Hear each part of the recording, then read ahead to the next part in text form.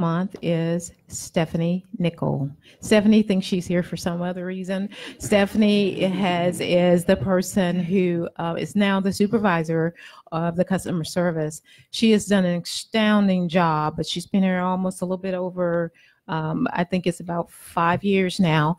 And um, she started out in CSR, and she said she cried many days when she she started here. Um, but she has become strong and uh, leads the team well. She works for you. She brings me problems that um, are seem like they won't be solvable, but she finds a way to make it work. She is working for the citizens to make sure you have the best possible service. I've seen those changes in the utility department. Uh, she has just taken on a very good leadership role, and the girls are following her. And I am so proud um, that she is now supervisor of that department and doing a fantastic job. So, uh, Stephanie, I say congratulations for being Employee of the Month.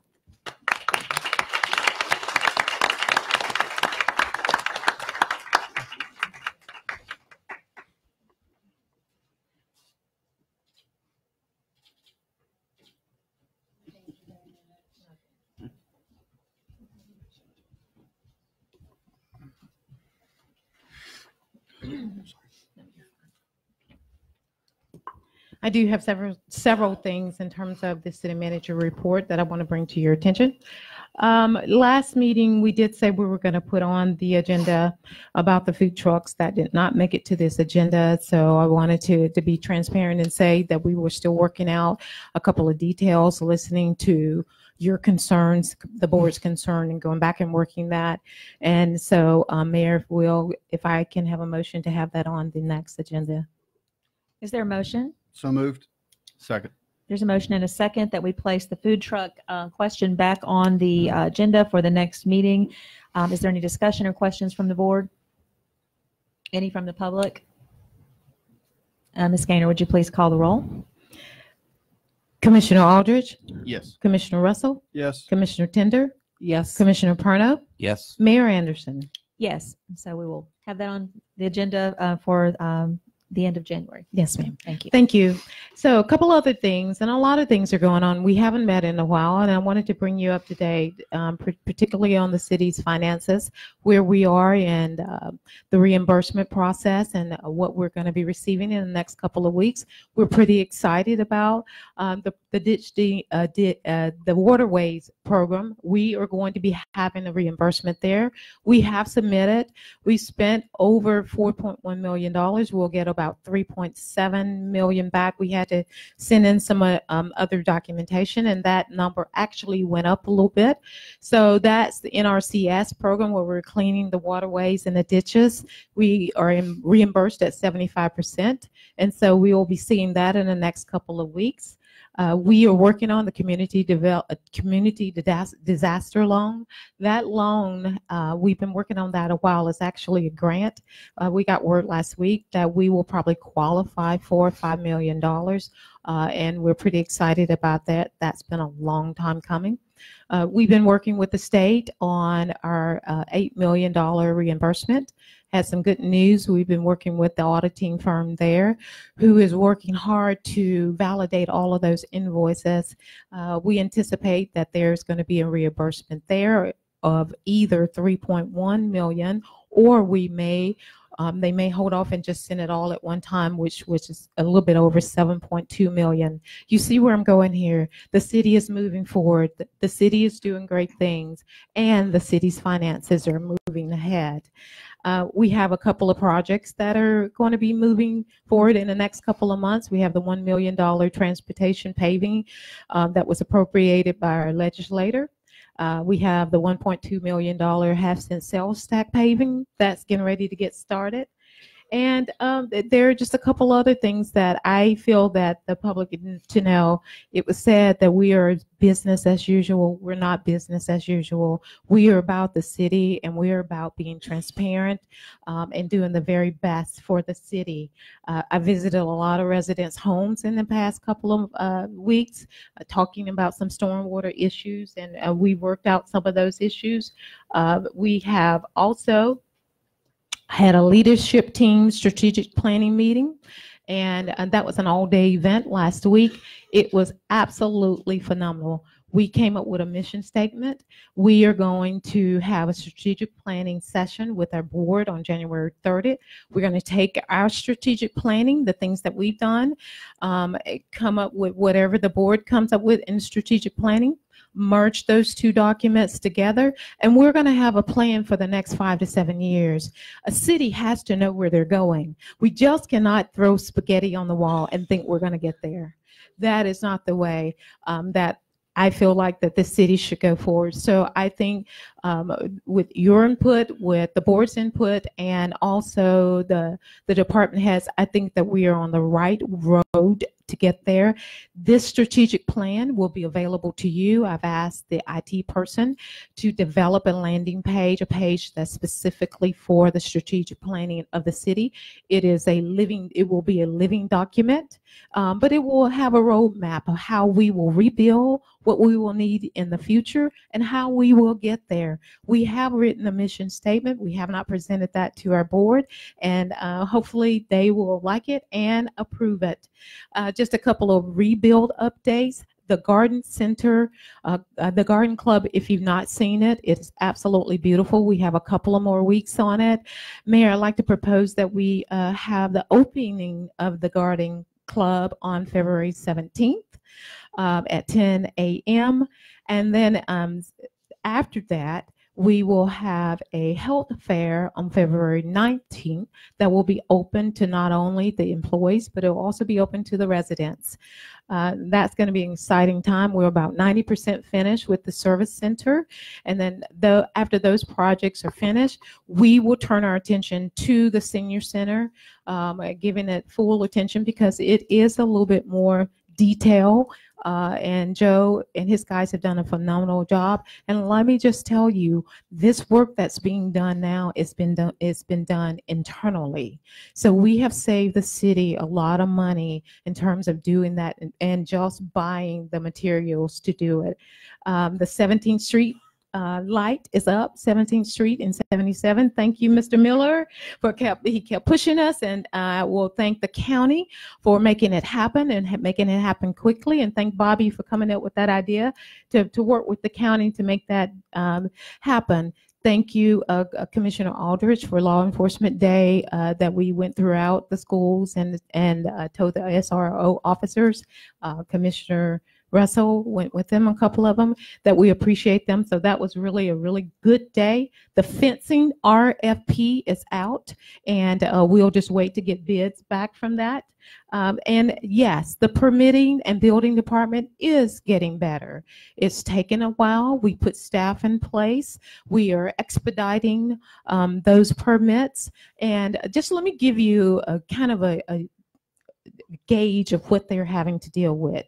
So I, I want to make sure I get these numbers right. In um, 2017, they sold about 1,800 permits.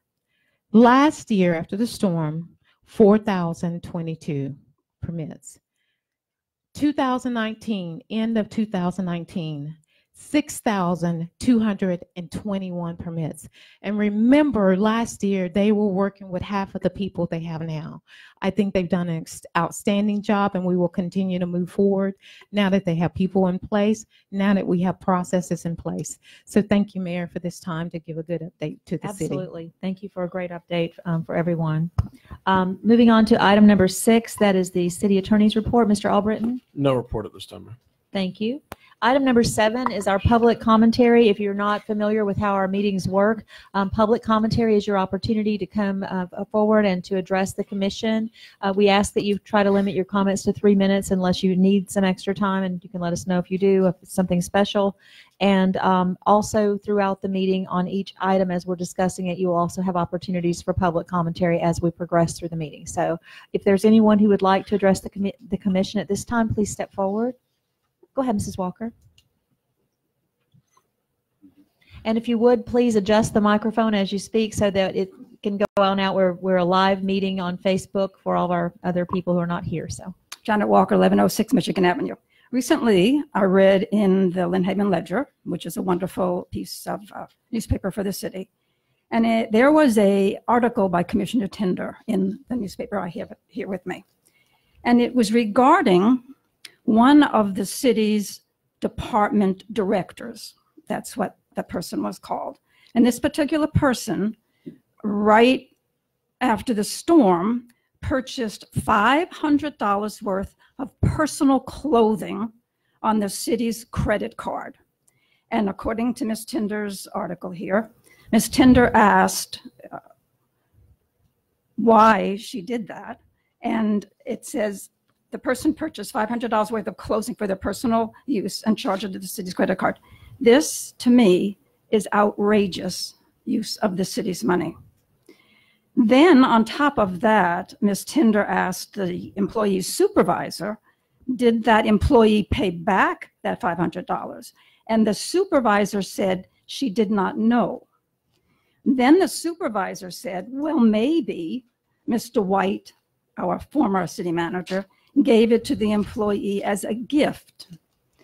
This is not a good sign for the supervisor. She did not know what was happening in her own area. If Mr. White did do this, it is extremely wrong, as we all can imagine.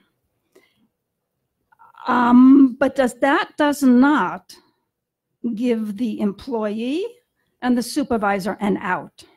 There, she, there should be some common sense available in the heads of these two people.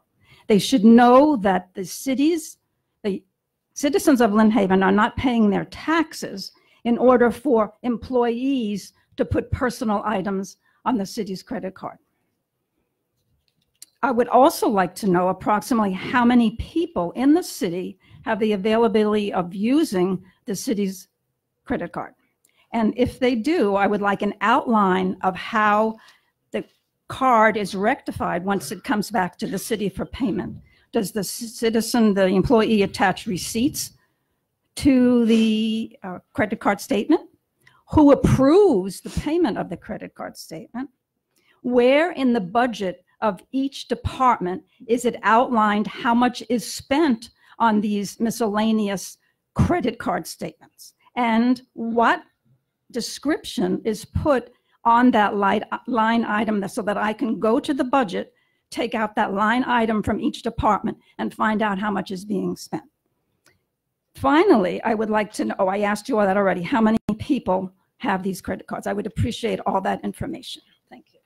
Thank you, Mrs. Walker, for your comments. Um, first of all, I would not even pretend to um, try to say what Mr. White did or did not do. As you know, there's an ongoing investigation. Um, I have knowledge of the article that Mrs. Tinder wrote. I have spoken with the city manager as the mayor, you know, my concerns, and um, she's, you know, told me her concerns. I'll let her address or anyone else from the commission who would like to. Um, also, credit cards I know are given to various officials in the city depending upon their need to have them. I will tell you the mayor does not have one. He's never had one. Um, this has been um, a very difficult time, as uh, Commissioner Aldridge alluded to. There are so many legalities involved, so many things um, that I would love to stand on the top of this table and shout at the top of my voice on behalf of just myself because of some of the accusations which have come to me, but at this time that's impossible for me to do. But there will come a day. And also, there are many others in the city who've had to suffer the same sort of silence, not being able to speak, not being able to defend because of the fact there is an ongoing investigation. So please, as residents of the city, at this point in time, I think you all know this mayor. You've known me a long time, and I don't think you've ever known me to be silent about anything. But right now I have to be. And so, no, it's not business as usual. I, I took a little trying to work together, but I took a little offense at that. Lynn Haven has not been business as usual since I became the mayor in 2015. I've worked very hard to move this city forward. And um, the article, I have great respect for Commissioner Tinder. I have great respect for everyone on this board. But for me to as the mayor speaking for the board or for the city manager to try and answer there, I counted as you were asking, I believe you asked me 34 questions just then.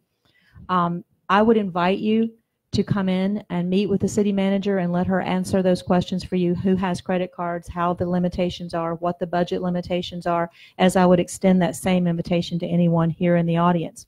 Maybe it would be a good thing for us to put together a document that outlines that so that everyone has that same transparency, that same um, answer that Mrs. Walker has asked for, because I'm sure um, that, like she um, and Mrs. Walker, with great respect, the questions that you ask, um, you know, the article did lead to a lot of questions. I mean, they do for everyone. And there are many more questions to be answered before all of this is ever solved and resolved for the city of Lynn Haven. Unfortunately, it's a painful process for everyone. So, you know, Commissioner Aldridge was um, saying he was sorry to the residents earlier. He was not a commissioner during the storm. He was not a commissioner when the ugliness took place. And those of us who have been here through the ugliness and have worked through it and have stood tall and have tried to represent this city the best that we can in the midst of a storm after the storm, um, I make no apologies for being a strong leader. I brought this city through one of the most difficult times, if not the most difficult time in its history. And like I said in the beginning, I am still standing. I will continue to stand for this city. I will continue to stand for what is right. And I've had several people come to the microphone over the past few weeks that I've never seen before and ask questions, knowing that I could not answer them publicly. And I felt a little belittled by it. No more. Mayor Anderson is back. I am standing tall, and I will not take responsibility for things I did not do. If there's anyone else on the commission who would like to speak at this time, please feel free to do that. Thank you. Mayor, Please go ahead. I'm going to respond to come, some of those, and then um, our legal attorney can say whether or not, you know, hey, Vicky, you just need to, to hush or what. And what you didn't tell me to be quiet either, so I just kept on. So, so I, I just want to address some of those this, because some of that is very inaccurate. First of all, um, let me make it perfectly clear. I was not the city manager in 2018. I was not the supervisor of any director in 2018. I was this, I was the city manager appointed in 2019 March. Secondly, that particular employee came to the city the day after Hurricane Michael and wanted to offer their services and did not have clothes on the, her back. And the former city manager offered that. It was not $500. It was $125. The rest of that money was used, my understanding, and going back and looking at the receipts, was used for supplies for people who came to work for the city to make sure the city was running properly. There were employees, including myself, that did not have clothes, that did not have socks, did not have underwear, did not have soap. And we came to work for this city. I love this city. I will never take a dime from this city. I will give more than I put out. And I want you to know that I will never do anything to embarrass you under any circumstances. In terms of the credit card, every department head has a credit card that was in place before the former city manager left.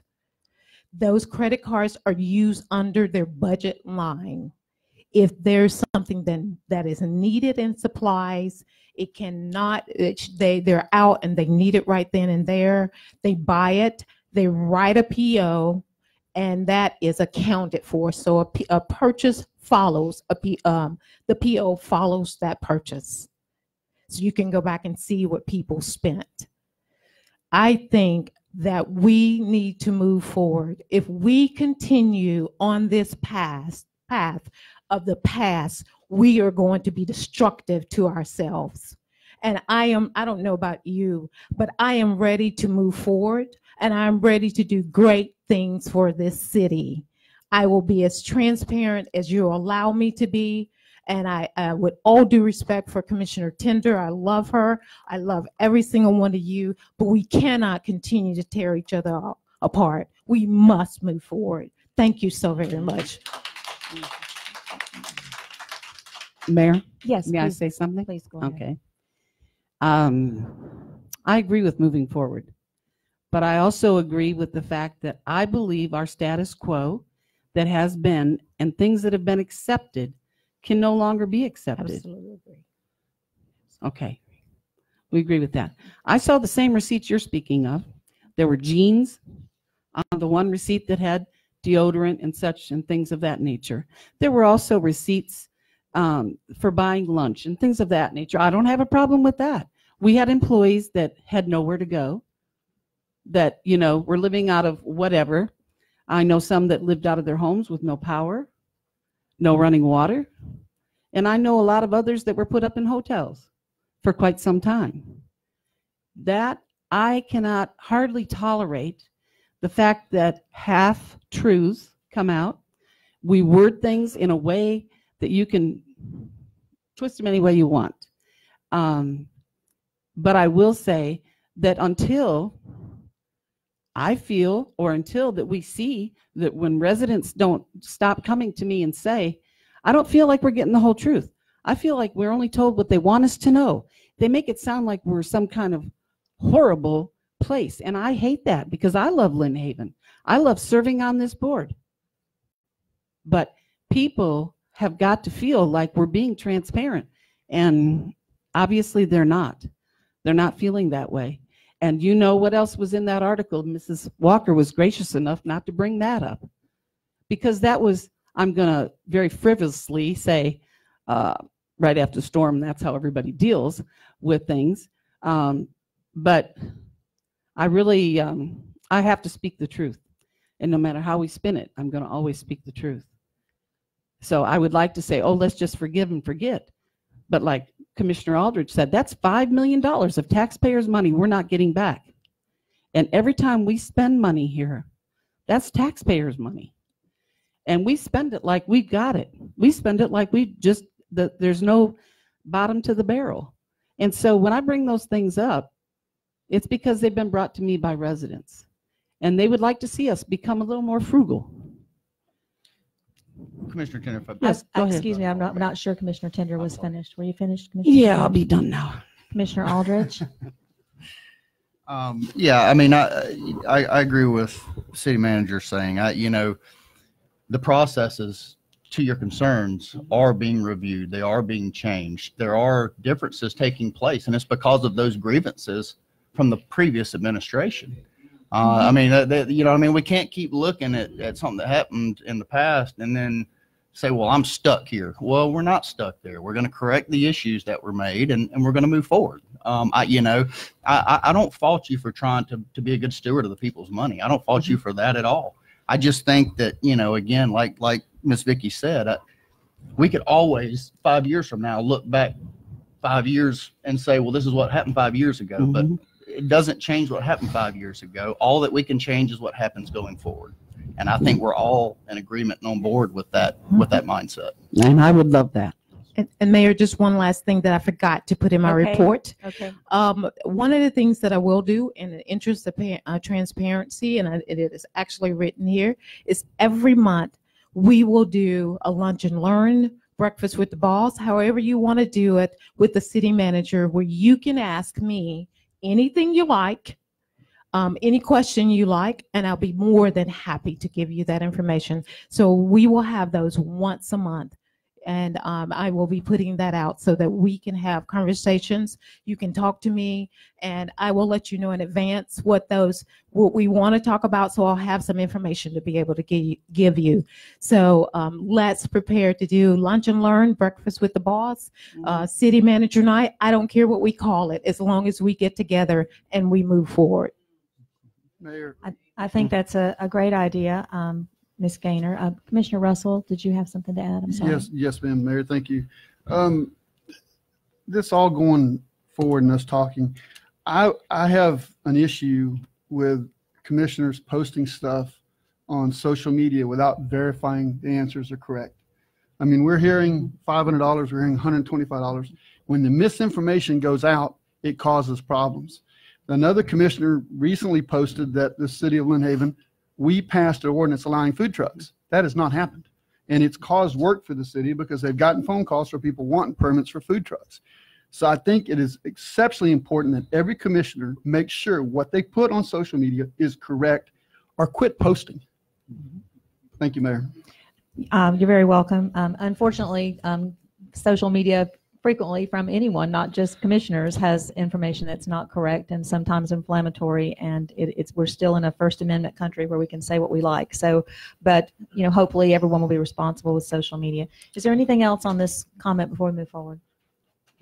And um, I, I did have one final comment that I would say is just because everything that has happened over the past year and a half is not being discussed at commission meetings, please do not um, take into your account that it's not being addressed. The city is still under a very heavy investigation with everyone sitting at the table here and many of the employees still um, answering questions and still trying to get to the bottom of everything. So just because it's not being discussed out loud at a commission meeting, please don't assume that something's been swept under the rug or that it's never going to, to come out. So that's all I would have to say. Are there other comments? Uh, Mr. Walker? No, it is not. We've only had one person to speak so far. We're not moving along very, very, very well, but um, I think that it's a productive meeting when people can speak their hearts and minds. So continue.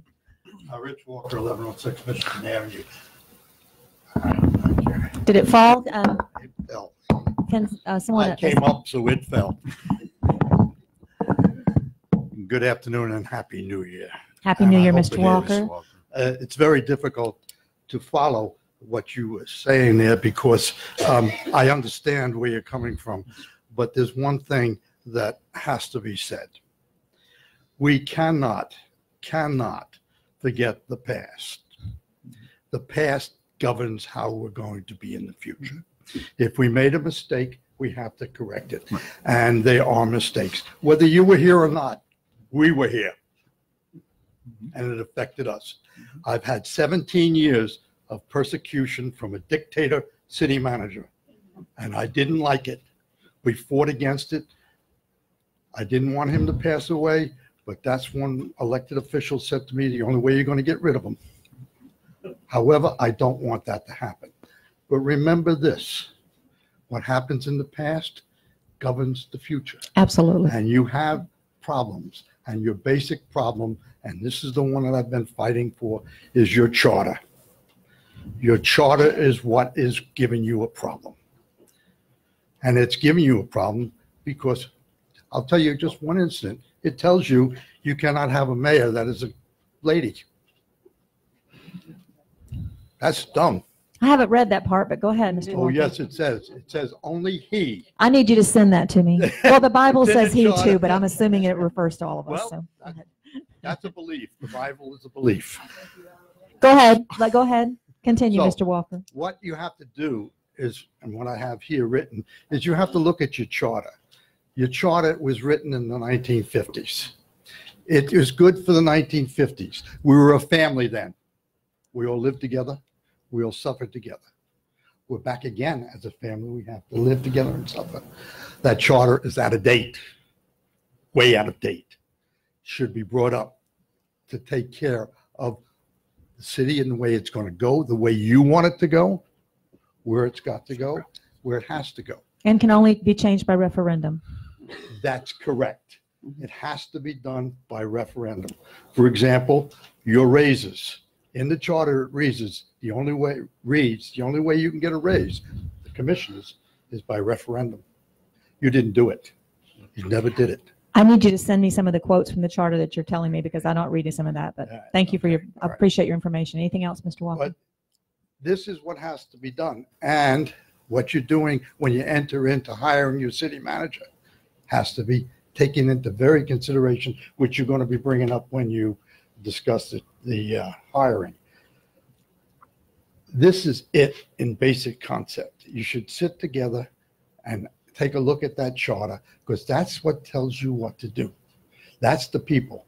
Remember this, President had on his desk once, the buck stops here. The buck does not stop there. It stops in my pocketbook and comes from the taxpayer. I think we've forgotten that. We are, you should, you should be responsible. And yes, we've lost 5 million and you're possibly going to lose 70. You don't know. You don't know what's going to happen. I'm sorry about the investigations and we cannot hide behind that. We can't be telling the public that we're under investigation, therefore I can't tell you anything. We should be as. Mr. Walker, I've never said that, and I will not be castigated that way. I'm sorry. I've never said that. I've never said that. You just said we're under investigation. Yes, I did, and I said there are certain things that we cannot answer in public. I understand that, but you should do the best you possible because there's a lot of, Thank you, Mr. you're Walker. right, there's a lot of disinformation out there. And some of the public that's asked me things about investigations, there's total disinformation. out Thank you, Mr. Walker. there. Thank you. Is there anyone else? Yes, ma'am. Go ahead. Hi, Go ahead. good afternoon, um, Mayor, Good afternoon. Manager, Commissioners. Happy New Year to you all. Thank you very much. My name is Bridget Rogers. Uh, I didn't know, I'm new to Lynn Haven, not new to uh, Panama City in itself, but Welcome. thank you very much. Um, I just, because of information, uh, sometimes a little information is dangerous, so I figured I'd come here. Um, I am the new property located on 17th Street called Parkview Townhouses. It is 50 townhouses. They are three bedrooms, two and a half baths, and D.R. Horton built them to rent. Um, it is, uh, we have three bedrooms. We have a attached garage. We will, we have state of the art appliances, granite countertop, stainless steel. Uh, you, you can go online. This is not a marketing thing. You'd be surprised how people have come to the community. Who are you and what the hell are you doing here? And so I felt the need um, because sometimes we question what we don't know. And so I want you to know that we are there. Um, uh, you've seen a lot of dust and a lot of traffic, but it's a good thing. We will have 50 families. The rents are, you know, rather rather elevated. So um, if you have questions, I will. I have information. Um, it's not here to rent, but to let you know, we are for rentals, not for purchase. Uh, they do go through a screening process. They have to have a deposit. They have to have a criminal background check. They have, I mean, they will be anybody's neighbors that you would want. They will bring an econ- economic stimulus to the city because we all, if you work here, you pay taxes. Um, the owner pays taxes on the property. And I think we're a good addition. We're right across from uh, the Cain Griffin Park, it is. And I try to tell people we're down the street from um, the Marco's Pizza, which is very important. And so um, we, uh, uh, uh, when I, we finish this one, we're moving out to Sunset Village, which will be 235 single families for rent um, on 231 and 390. So I think this is a wonderful community. 32444 for two years.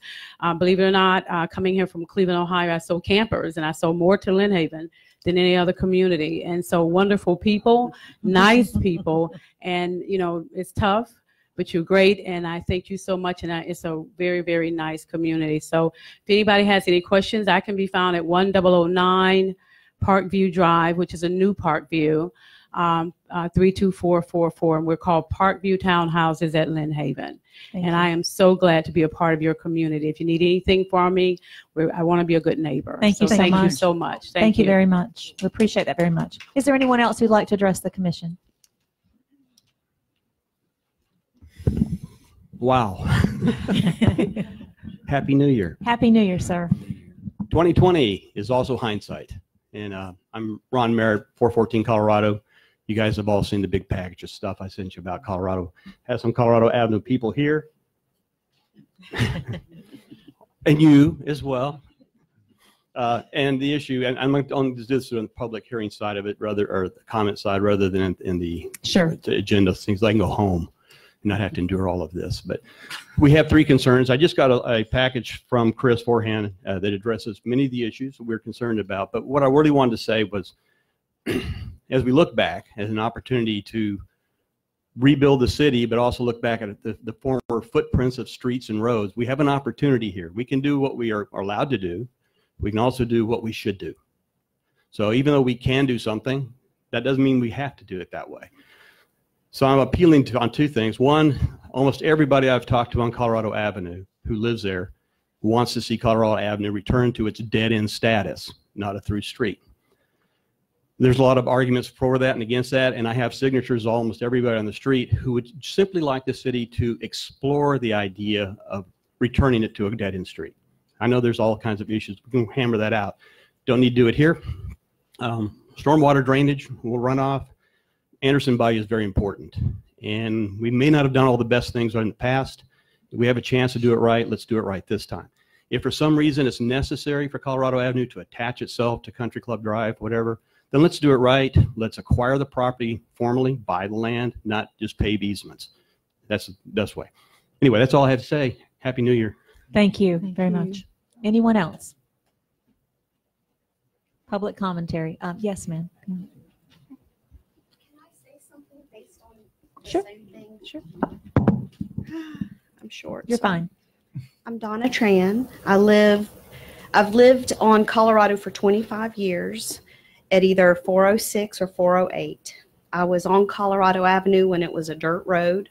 And you know how lovely it is to live on a dirt road. It's, bu- bu- bu- bu- bu- bu- you know, you drive all the way down. And I was thrilled when we learned they were going to pave that little section that ran towards the country club until they paved that little section mm-hmm. that turned sharply very narrow and and came up to the country club drive and the day after they paved it it became a high speed thoroughfare teenagers whoom i had my children come in and say mom i raised three children on that corner mom i had to jump in the bushes to avoid being hit because of the half of the country club decided it was a shortcut. I don't think it was designed to be a shortcut. Um, all of the service trucks that would bring food and alcohol and golf carts and everything started using it as a service road. And between all of that, it has been torn to shreds and never really treated, I don't feel, like a lot of the main roads in Lynn Haven, it's it's quite narrow right in front of where the old golf cart shack used to be. I know some of my neighbors have to buy sandbags every time it rains because of the runoff from the golf cart shack coming into their driveway and garages. I just um I'd like it if I had my ways, I'd like to see it be a dead end because of the safety or or have maybe police officers sit there and, and pay attention to how fast people are just flying around that corner or put some sort of stop sign or something to slow people down. That's my concern. It's become dangerous, I feel. Thank you. Thank you. Thank you. And, and we do, we do have a traffic committee in place and I'm sure they're listening to what your concerns are. I see Chief nodding his head and, and he'll be, he'll be on top of that right away, I'm sure, looking at that. Yes, ma'am, please go ahead. Hi, Hello. my name is Janice Roberts. First time I've come to a commissioners meeting. Welcome. This is a small detail, personal. Uh, I have signed up for a grant for the thousand dollars. And I called the utility office this afternoon and they said there was a list of waiters, people waiting because they have to raise more money to give us some. Do you have any idea if my name's on the list? Here's how we can do that. If you Okay. will come by the office, if you applied, and uh, Julie Higby, who is our assistant here, she can help you and make sure that your application is is there and on file. And the way that this has been handled, we've been able to award 225 grants thus far, and the money is raised privately. It's been really my project. It's, the commission is the board, but it has been my project from the very beginning. And um, this money is a joy to distribute. It's very difficult to raise. Sometimes we get different amounts. We've gotten checks for $25,000. We've gotten checks for 50. As soon as we get money in, as mm-hmm. soon as it comes in, we immediately roll it over. pull more applications and, and give the money out. We do not keep the money in the account. And so we have approximately 1,200 applications left right now to fill. And, um, and I should have a big garage sale. well, you just get, money no, well, you give me an opportunity to say one more time, if any large corporation or philanthropist is listening, I need $1.2 million donated Oh, to the is Lynn that Haven all? City Let Hurricane me Relief write you a Fund. check so you write me a check. Well, we've, we've received some large donations. I'll, I'll, we, we recently received 50,000 from Florida Blue. We received 25,000 from someone locally.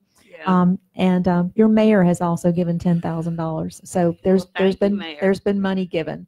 And I've never said that publicly before, but, um, there was some question about what was happening to the money. So I just decided I'd throw that out there today. That's good. Um, but, um, Oh, I normally wouldn't apply for it.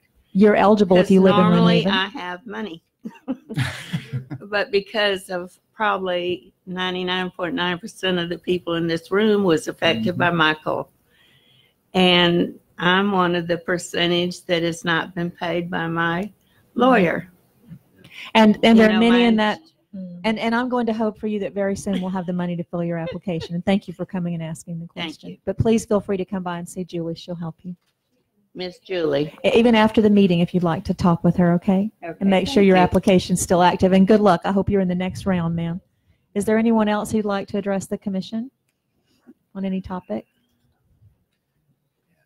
Okay, we'll move on then to item number eight, which is a public hearing.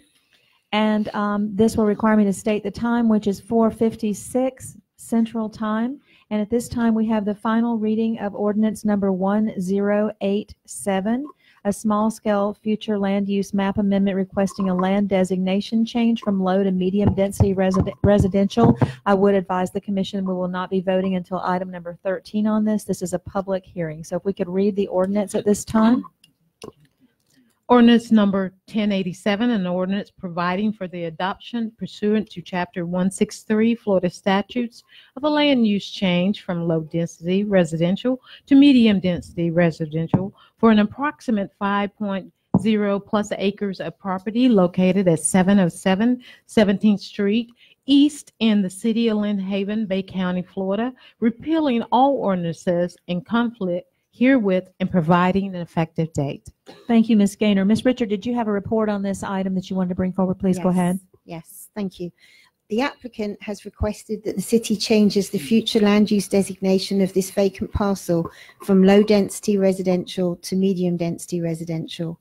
The current land use of adjacent properties is as follows. To the north is recreation open space, the south is low-density residential, the east is low-density residential, but to the west is medium-density residential. So it is adjacent to existing medium-density residential. It is a small-scale future land use map amendment that's being requested, and um, staff recommends approval. The current future land use designation of low-density residential allows for the development of single-family homes at a density of up to 4.99 dwelling units per acre. The requested future land use map designation of medium-density residential allows for single-family homes and also multifamily homes. There's a minimum density requirement of four dwelling units per acre and a maximum density of 10 dwelling units per acre is allowed.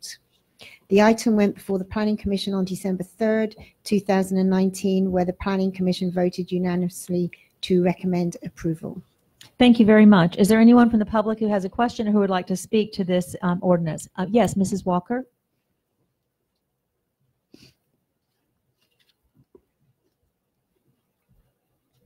Janet Walker, 1106 Michigan Avenue. On this sheet of paper prepared by Amanda, on uh, item four, it says advertised yes. The date was Friday, December the 20th. It says here 2020, it should be 2019. Um, I have the paper from that day in my hand, and I don't see that advertised. If you could uh, address the commission, and Ms. Richard, do you have the, the date for the, for the advertisement, or if you could address how it was advertised, please? This was advertised on its own as a public hearing for a public hearing. I'll have that in the actual um, amendment folder, which I have in the office. If Mrs. Walker would like to come and have a look at that tomorrow, I can show her Okay. the advert. Okay, go ahead. All right, are there other questions or comments on this particular item during the public hearing from the public? Okay, um, I will declare then this public hearing closed, and that is at 4:59. We'll move on to items 9 through 11. This is a consent agenda. There are three items, the minutes from the last meeting, which was December 10th, Item number 10, the discussion and possible approval of the Tetra Tech task orders for the HMGP projects.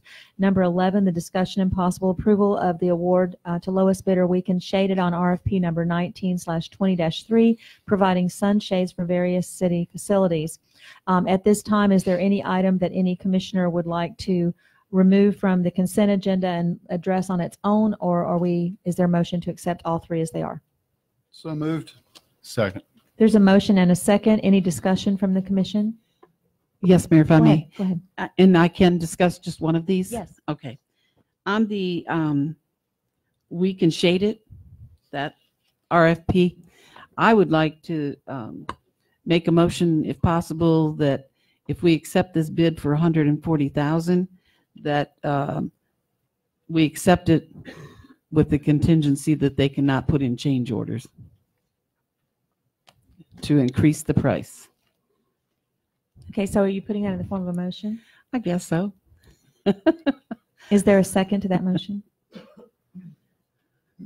Mayor, there's already a, mo- a, a motion and a second on the table. Oh, I did. I went forward with another motion. Thank you Okay. for that correction. So um, let me just ask for a little direction from the attorney. Should we just ask to pull number 11 out and then we'll come back to it? Yes, ma'am. Based Okay. off on Commissioner Tinder's desire to discuss and potentially have some action on one item, So we just should pull it pull out. that item, Thank you. uh, leaving the remaining two consent agenda items. I would suggest we resolve the remaining two consent agenda, uh, consent agenda items and then go back to Okay. the item that uh, Commissioner Tinder is. uh, Thank you. to Thank you for that direction. Okay, so there is a motion on the floor that we um, accept the consent agenda items. Now we um, have discussion on number 11, so we're not going to include that. So um, is the motion uh, who- Mayor, I'll, I'll amend my motion. for to- 9 and 10? Yes, ma'am, for nine, ten, and to remove eight, or no, remove number 11 and put it into the uh, main agenda at the, at the Thank end. you. And is there a second? I'll second that. Thank you. Um, Any further discussion from the board? Any from the public? For removing the item from the agenda, Ms. Walker? Um, Okay, this, this particular motion is to keep the minutes and the discussion approval of Tetra Tech under the same items. We're just voting right now to remove number 11 and keep the other two under the consent. I'll give another opportunity to speak in just a moment. Yes, you may. Okay, Ms. Gainer, would you please call the roll?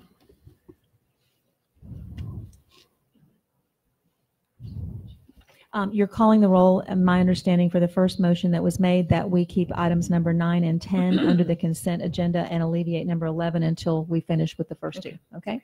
Thank you. Commissioner Russell, Yes. Commissioner Aldridge, Yes. Commissioner Tinder, Yes. Commissioner Perno, Yes. Mayor Anderson. Yes. And so our consent agenda is now the minutes and the discussion and possible approval of Tetra Tech task orders for the HMGP projects. Are there any comments or discussion on those two items?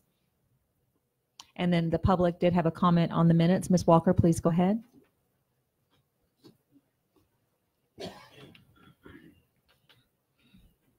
Janet Walker, 1106 Michigan Avenue, on uh, the last page of the minutes, item 25.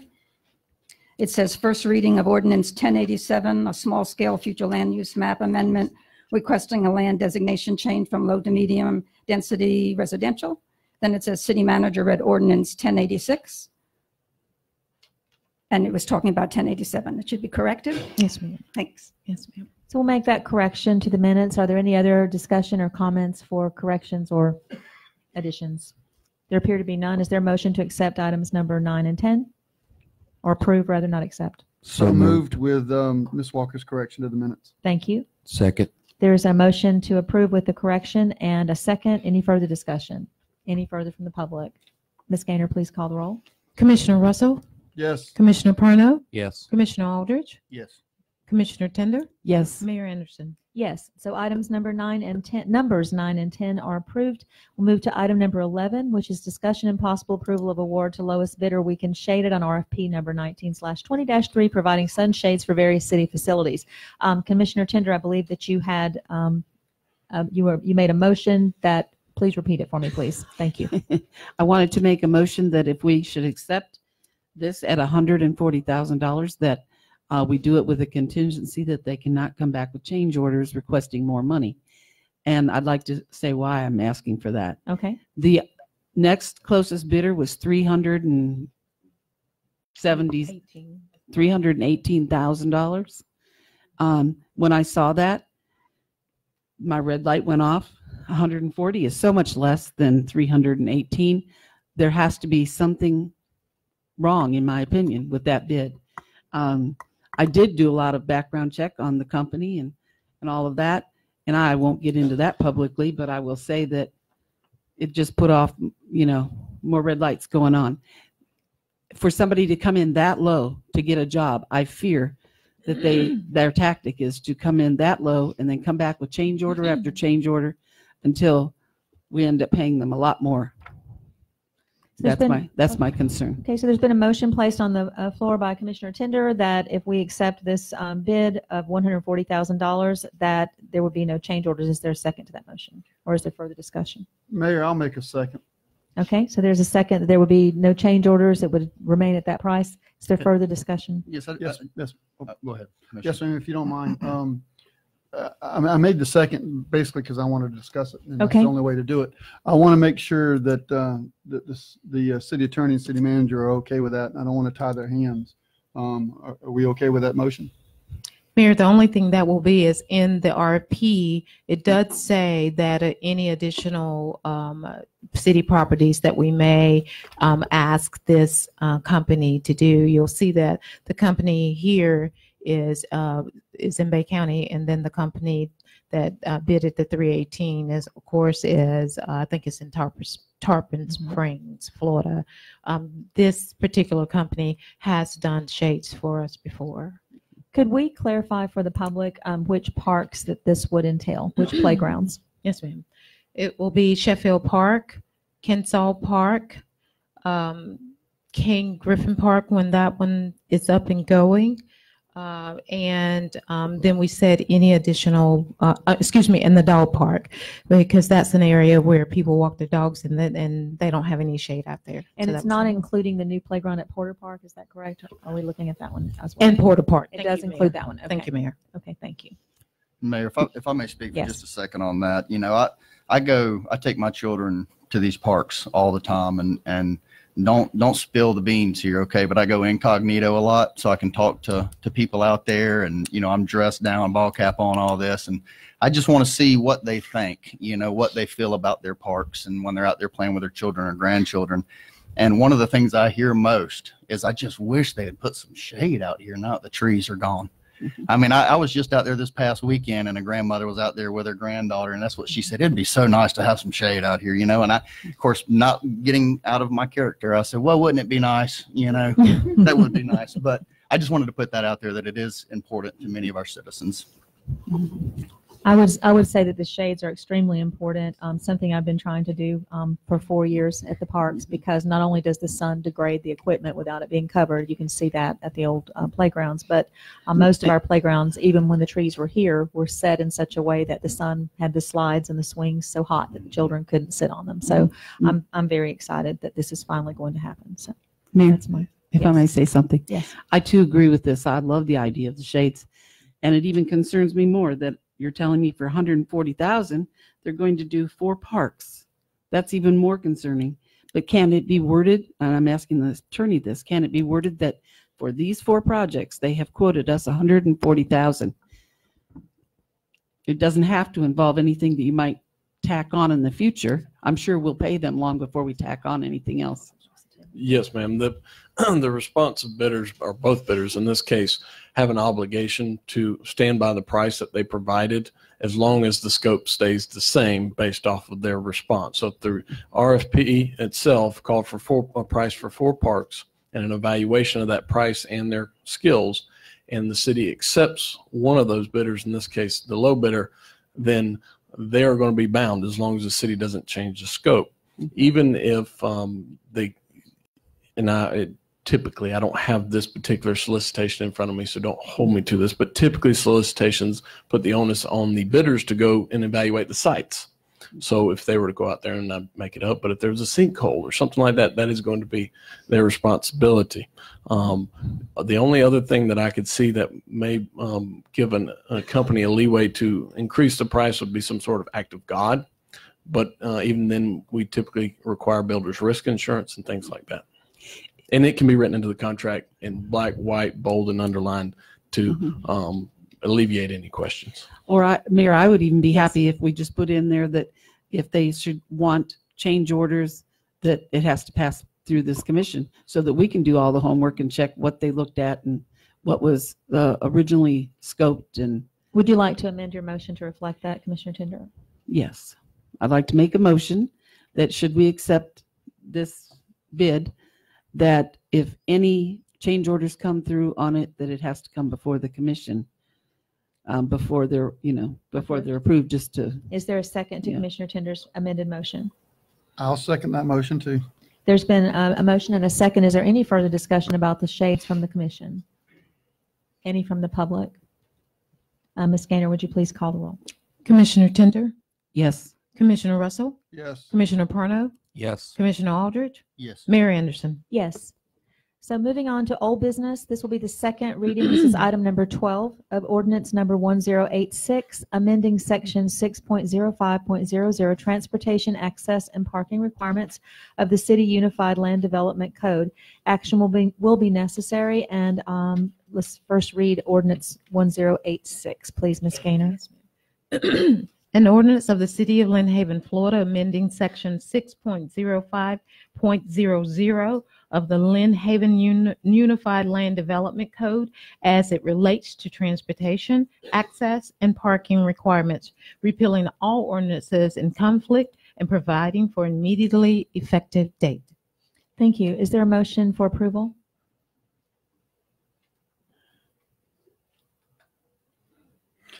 Mayor, I'll make a motion for the, pro- for the purpose of discussion. There's been a motion. Is there a second? I'll second that. There's been a motion and a second. I'm assuming that we need um, maybe s- possibly more information. Um, Would you like the planning director to bring forward some information, or do you just have a specific question you would like to ask of her? Um, I, I'm, actually, I think I've got all the information I, I, I need. um, Okay. But I would like to e- explain my think, my reasoning. Okay, Um, unless some department head or some employee can explain to me why we need to change the land use code, um, to, to change this, my understanding, and, and, and Ms. Richard can correct me if I'm wrong, we now require cul-de-sacs at the end of dead-end roads. This will change our land use to allow them to use other methods, either, uh, you know, a T or some, uh, I I would assume that's probably the only other method. Um, I have met with the fire chief. I've talked to the police chief. I've talked to the um, public works director. My concern is the ability for fire trucks, garbage trucks to be able to turn around at the end of these roads. Um, the police chief has told me that typically a, a, a, T at the end of the road ends up turning into a parking lot. That uh, the people that live on the end of those roads park their boats on there, they park their spare cars on it, and then you have issues with the fire trucks getting on there and not being able to turn around. So unless some department head can explain to me why we need to do this, um, and why it's a benefit for the city, I, I, I can't see how I can support it. I'll go with um, uh, Ms. Richard, if you don't mind, as planning director, could you speak to the, to the question from the commissioner, or the reason that this was brought before you was because we had had, um, we've had a couple of developers submit subdivisions uh, where they had hammerheads. And as we have always done in the past, we've told them when we review, when it goes through the technical review committee, the, the city does not allow hammerheads. The code says that hammerheads aren't allowed. Uh, a recent uh, meeting, TRC meeting, one of the developers' representatives asked why they were not allowed. Why was it in the code that they were not allowed? And um, the city manager was there at the time. We w- went around all of the department heads and I asked each and each one of them, can you tell me why this is in the code? Because this code was here when I came to the city, so I don't really know why it's in the code like this. Nobody mm. at that time knew or could give me a good answer as to why the code said that. And so um, I, it was decided to go ahead and bring it to you so that you could all decide whether you wanted to change the code or not. And it was following that decision after I'd already advertised it to take it to the planning board that, um, well, actually at the planning board, one of the planning board members voted nay. All the others voted Right. yes. And after that planning board meeting, I guess people got to talking um, and that's when people started, you know, asking the fire chief and I guess the police chief. So the reason this was brought to you is because we could not at that time tell them why, nobody could tell them why it was in the code that way. So we brought it to you so that you could decide. And then once we get a definitive answer, then, you know, we can lay that one to rest. Okay, I thought I recall reading that the fire chief had no objection to this. Am I incorrect on that, Chief Delange? Could you speak to that, please? Do you, thank you. That is correct. We don't have anything in our code that prohibits them. Okay. Um, You you know, it's, we're not a big fan of them, Okay, but, but there is no code saying you cannot have them. okay. Thank you very much. And then Chief Ramey? Okay, all right. Mr. Baker, did you want to say something? But it was, but it was due to trash trucks. He was thinking difficulty in turning around. Okay. Anyone else from uh, the, the public have comments about it? Allowing um, a little difference in that variation? Yes, sir. There are several dead-end streets. If you'll come already. forward, sir. Sure. I'm sorry, it's just I'm a. Yeah, there, there are dead-end streets all over town, Iowa, Mississippi. How the trash trucks handle that? Uh, you know, so are we going to go back and ask every street to have a cul-de-sac or a T or hammerhead? Uh, because trash trucks are still pulling the trash off of Iowa and Mississippi. Fire trucks can turn around, police can get down there, and turn around. So, you know, if we're going to apply this, let's apply it to everyone the same. Thank you, sir. Okay, there's been a motion and a second on the floor. Um, there was some concern, Ms. Richards brought up some of the, um, concerns that she, um, heard from department heads. Fire chief has offered that, uh, he's not a great fan of them, but there's no ordinance against it. Police chief offers no objection. So are there further questions from the commission? No, ma'am. I mean, if, if, if, if I may, Ma- Mayor? Of course, go ahead. Yeah, I mean, if, um, if our department heads are okay with it, um, obviously, you know, we need as many houses as we can get. So I mean, if this im- im- improves the ability of a developer to put more houses on a property, it's more property taxes for the city of Lynn Haven and it's, it's more development, more houses. So as long as our department heads are okay with it, then, then I'll, uh, Mm. relinquish my uh, complaint. Commissioner Perno? Yes, ma'am. Um, I think what we're in question about is the fact that people might use these hammerheads as a parking lot and they're therefore deter emergency vehicle or garbage truck from turning around. So I would be all for it too if we if we scored the the, the you know if it, it's in the site review that if they're going to use a hammerhead that we score it and make it a towaway zone at the owner's expense. So therefore it's it's it's colored, it's painted, and there's a towaway sign so people know that they're not going to be able to park there. Well, or just for the a sake of- or an RV there. For the sake of discussion, would you do the same thing on every cul-de-sac though? Because people park along the curbs in those too. So I'm just asking. The not cul-de-sacs have an open area in the middle where they can get they can get a turn in. The in- on, a- on a on a T you can't. I'm just talking about if you were parked all along the curb, it'd be very difficult to, to turn around. I've seen that done too. So Mayor, I'm just- if I'm, if I may? Yes, go ahead, please. Um, I might suggest asking uh, Chief Ramey, but I, I believe if you park in the roadway, he has the right to tow you for parking in the roadway anyway. Mayor? Thank you. Commissioner Tinder? Um, I would just like to ask Chief Delange one question. Um, have you ever been in a situation where you've pulled into one of these and not been able to get out or somebody's life is compromised because of it? In the twenty-six years, I can't recall. Okay. Thank Okay, you. Thank you. Uh, Mr. Finch? Yes, I'm the one doing it. Project, the hammerhead, you know, the cul-de-sacs usually they, they make them too little or whatever. They can't turn around. But this you can pull in and back out. But the main thing is if you got a hammerhead, you can take and put a dumpster in there and put it at the end of the uh, hammerhead, or you can put the mailboxes on the end of the hammerhead and they back up and go. But you can mark them with a striping and whatever, and I'll work with the city to stripe them any way they want to, no parking or you know whatever. But it, if there's a parking place down there, you know somebody goes parking if it's cul-de-sac or hammerhead or somebody try and park on it, but you got to just tow them or whatever. But the hammerheads are a little wider. The roads are uh, two foot wider than what the city requires, so we made the roads wider. And uh, but hammerheads can go away, but I thought it was it's just it's one to want to be the one, but you can upgrade the hammerheads when you can't really upgrade a, a cul-de-sac. That's good. Thank you. Other questions from the commission for Ms. Richard or for the developer? Anyone? Are we good? So we've had a first and a second um, motion on this. Um, No further discussion from the public. Ms. Gainer, would you please call the roll? Commissioner Russell? Yes. Commissioner Aldridge? Yes. Commissioner Perno? Yes. Commissioner Tinder? Yes. Mayor Anderson? Yes, so that stands approved. And then moving on to item number 13. This is the second reading of ordinance number 1087, a small-scale future land use map amendment requesting a land designation change from low to medium density residential. This also requires action. Um, If we could for- first read ordinance 1087, I believe this is it right here. Yeah. 1087. Yes. An ordinance providing for the adoption pursuant to Chapter 163 Florida statutes of a land use change from low-density residential to medium-density density residential for an approximate 5.0 plus acres of property located at 707 17th Street East in the city of Lynn Haven, Bay County, Florida, repealing all ordinances in conflict wherewith and providing an effective date. Thank you. Is there a motion? So moved. Second.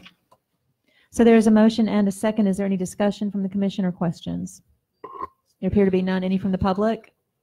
Um, Yes, Mrs. Walker?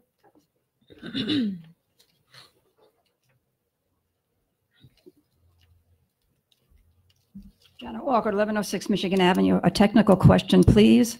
Ms. Richmond, Richards said that she does have that copy of that advertisement. If in fact it is not the correct advertisement, because there is an advertisement that day, but it's not for the property you're speaking of, if it's not the correct advertisement, would your vote be null and void? I'll defer to Mr. Albritton. We would need to cure the deficiency. Beg We would need to cure the deficiency. So if the advertisement was not done properly, uh, the only way to cure that it would be to re-advertise and bring it back before the commission, in my opinion. Thank you very much. Yes, ma'am. Thank you. Are there any other questions? Ms. Gainer, would you please call the roll? Commissioner Russell? Yes. Commissioner Tinder? Yes. Commissioner Aldridge? Yes. Commissioner Perno? Yes. Mayor Anderson? Yes, so it stands approved um, pending the advertisement question. Thank you. Um, Item number 14 is new business. This is a quasi quasi judicial hearing which will acquire, um, require people to be sworn in. So I'm going to state the time of the opening of this um, judicial hearing is 5:22 Central Time. And then I will defer to Mr. Albritton to swear in any people who need to be sworn in. And Mayor, before I swear in, I would ask the commission for any ex parte communication related to this topic, if there has been any ex parte communication. I've had none. I've had none. I've had none. None. None for me. With that being said, all those planning to give testimony in this matter, would you please raise your right hand? Do you swear or affirm that the testimony you're about to give will be the truth, whole truth, and nothing but the truth, so help you God? I do. Thank you, ma'am.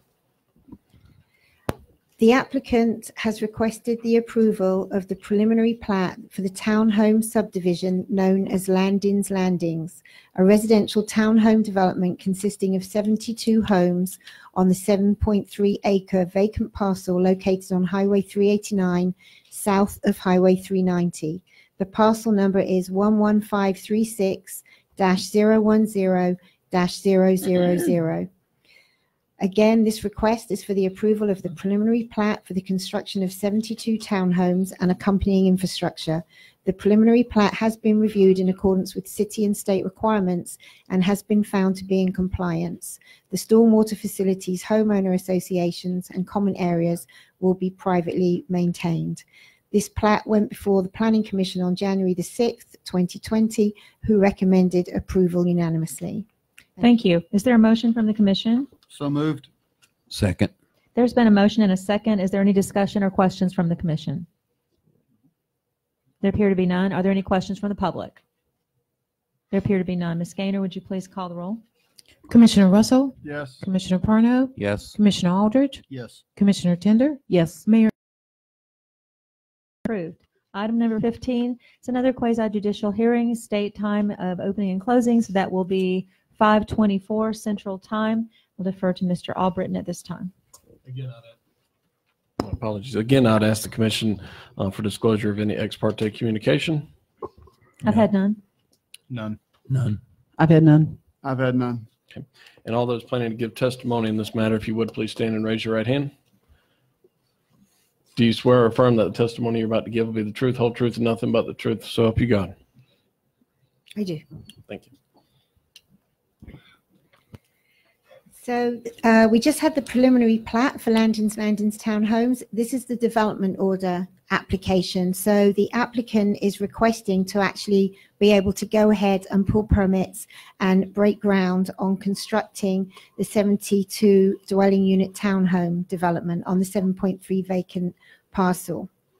The property has a land use of mixed use, which allows for a density of up to 10 dwelling units per acre where there is no commercial on the same site, and there isn't on this site.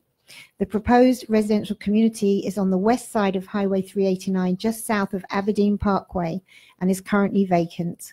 The applicant would like to construct 70, 72, it says on here 50, but it's 72 residential units and supporting infrastructure. And as I mentioned before, the stormwater system will remain private and will be maintained by the homeowners association. There is something that I would like to bring to your attention that wasn't in the car. And um, I have a letter here from um, Greg Kidwell, who is the utilities supervisor. And at the TRC meeting, this was brought up, and it was brought up also at a TRC for a uh, potential development called Andrews Plantation Phase Two, which has not yet come to us for a development order. And per the utilities supervisor, Greg Kidwell, this project and Andrews Plantation Phase Two are going to require that there is a lift station upgrade to lift station number 31, which is on Dundee Lane. This upgrade has not taken place.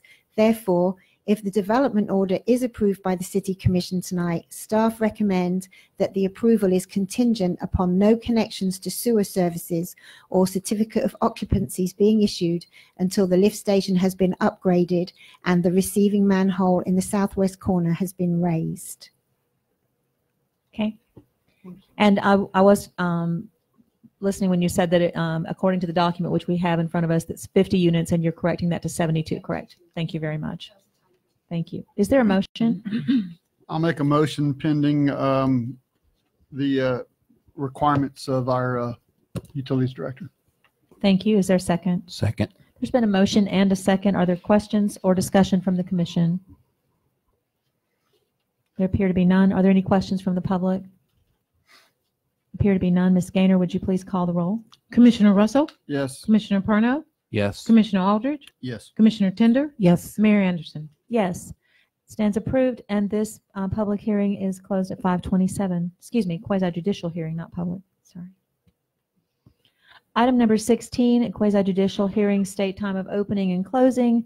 The beginning time, I've got someone trying to call me, is 5:27. And I will defer to Mr. Albritton. Again, I would ask the commission for disclosure of any ex parte communication. I've had none. None. None. None. I've had none. All those planning to give testimony in this matter, would you please stand and raise your right hand? Do you swear or affirm that the testimony you're about to give will be the truth, whole truth, and nothing but the truth, so help you God? Yes. Can I just confirm that this is the uh, quasi judicial hearing for the Bay County Sheriff's Office Special Facility, Yes. Vehicle Facility? Thank you. This is a development order approval to construct a 9,000 square feet special vehicle facility on the 0.377 acre parcel located at 303 34th Street East in the city of Lynn Haven. Parcel number 11810-000-000. This property came before you not so long ago for an annexation. The county wanted to annex this parcel of land, which is adjacent to the existing Bay County Sheriff's Office, into the city of Lynn Haven. And this, uh, that was granted, and they changed the land use on it. And now they have come before you uh, for permission to be able to build a special vehicle facility, which I believe will house uh, vehicles that will assist in case there's another hurricane. Thank you. Is there a motion? So moved. Second. There's a motion and a second. Is there any further discussion from the board or questions? Any from the public? There appear to be none. Ms. Gainer, would you please call the roll? Commissioner Russell, Yes. Commissioner Tinder, Yes. Commissioner Perno, Yes. Commissioner Aldridge, Yes. Mayor Anderson. Yes, it stands approved. This hearing is 529 and complete. Move on to item 17, which is discussion and possible approval of the development order for Hilltop Point Apartments. Uh, Do we have a report, Ms. Richard? We're working you hard tonight. Yes, this is another quasi judicial. I missed that. I apologize. Um, I will defer to Mr. Albritton. Thank you. Thank you, Mayor. Again, I'd ask the commission for disclosure of any ex parte communication. I've had none. None. I've had none. I've had none. Those planning to give testimony, if you would please stand and raise your right arm. Right arm. Do you swear or affirm that the testimony you're about to give will be the truth, whole truth, and nothing but the truth, so help you God? I do. Thank you. And, and just so that you all know, the gentleman that's standing up um, is uh, Chris from uh, Dewberry, and he is the one who reviews the engineering and the utilities for the city to make sure that they meet all the requirements. This is a request for development order approval to construct, and this is where the 50 comes from, a 50 dwelling unit apartment development on the 14.95 acre vacant parcel, which is located at 4514 Hilltop Lane. Part, there's two parcel numbers, one large one, 11518-000-000 and 11520-040-000. So there's a large parcel and then just a small piece. The applicant is requesting a development order for this uh, 14.95 acre property. The property has a future land use map designation of medium density residential, which allows for a density of between four and 10 dwelling units per acre and allows for apartments. The proposed residential community is on the east side of Hilltop Lane. It's actually on the west side, and the property is currently vacant. The applicant would like to construct 50 residential units and supporting infrastructure on this property. The stormwater system will remain private. The site plans have been reviewed and have been found to be in compliance with the City of Lynn Haven Un- Unified Land Development Code, technical standards, and Florida state requirements. And Thank this item was heard by Planning Commission on January the 6th, who recommended approval. Thank you. Thank you. Is there a motion? So moved. Second. There's been a motion and a second for approval of the development order for Hilltop Point Apartments. Are there any uh, discussion, questions from the commission? Mayor, if I may. Yes, please. I just want to let everybody know that I, I'm- I met with the uh, city manager over this uh, um, development.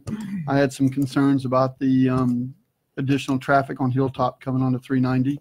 Um, And she kind of alleviated that with me. Once, once we go to a four lane, you'll, you'll be able to pull out of there and have a dedicated turn lane is what she's implying, or merge lane. So I think that's going to alleviate the problem. I had, the other issue I had, and it's an ongoing issue with the city of Lynn Haven that I, that I think that the city manager is going to look at addressing, and that is the private stormwater issue. Um, right now, I do not believe the city has any teeth to for, force a development into maintaining those systems. So if it fails, the city has to go in and fix it. So she's looking at a way to, to make it to where the city can, can go back and recoup that money if, if the, if the city has to go in and fix the stormwater. As in this case and the, the prior, um, vote, both those are going to have private stormwater systems. So, um, but that, I just wanted to let the commission know that I did address that with the city manager. Thank you, Mayor. Thank you. So did we had a motion and a second, correct? Yes. Any other discussion? Thank you. Any from the public? Uh, Mr. Walker?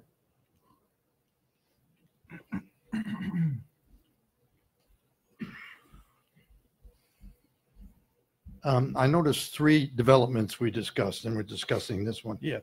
Um, I visited one today, and I do not see any affordable housing involved here. Is this one? Yes. This one is. Thank you. Thank you, Mr. Walker. Any other questions from the public? Um, yes, sir.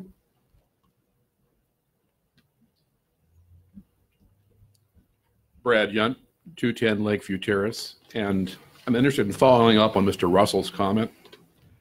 Uh, As a a- HOA president, I don't want responsibility for stormwater management.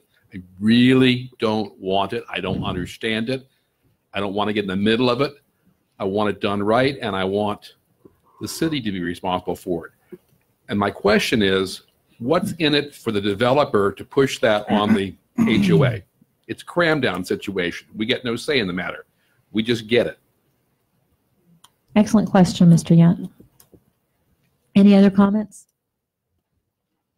At this time, uh, Ms. Gainer, would you please call the roll? Commissioner Russell? Yes. Commissioner Aldridge? Yes. Commissioner Perno? Yes. Commissioner Tinder? Yes. Mayor Anderson? Yes, it stands approved, and this hearing uh, is complete at 5:34 Central Time. Item number 18 is discussion and possible approval of right-of-way use agreement at 1918 Quail Run, and I believe this report is from Mr. Jenke, our Economic Development Director. Thank you, Mayor. Um, The city received a right-of-way use agreement request from Ms. Erin Ruppel and Mr. Carl Ferrara. Um, They both live at 1918 Quail Run, and this property uh, is um, ties into Vermont Avenue on the backside. If you take a look at your agenda packet, there's a map that outlines the proposed location of the requested easement. Um, and at this point, they're just requesting the approval of this um, easement to get access to the backside of their property. And, and my understanding is that there's no environmental impact and that's been approved and every- everything's fine. Well, DOT, uh, DEP um, stated that um, no permit is required if no wetlands are impacted and no stormwater systems are being impacted. Um, If you look at the map, there's this um, dark area right next to this uh, property and to this easement, and that is actually a stormwater system. And um, there's only a couple of feet between the neighbor's fence and that stormwater pond. So you could only gain access to the backside of the property probably by foot. But if you want to use a vehicle, you would definitely have to bring in some fill, probably possibly move uh, a stormwater pipe. So there would be some some modification re- required. Okay. Thank you very much. Is there a motion for approval?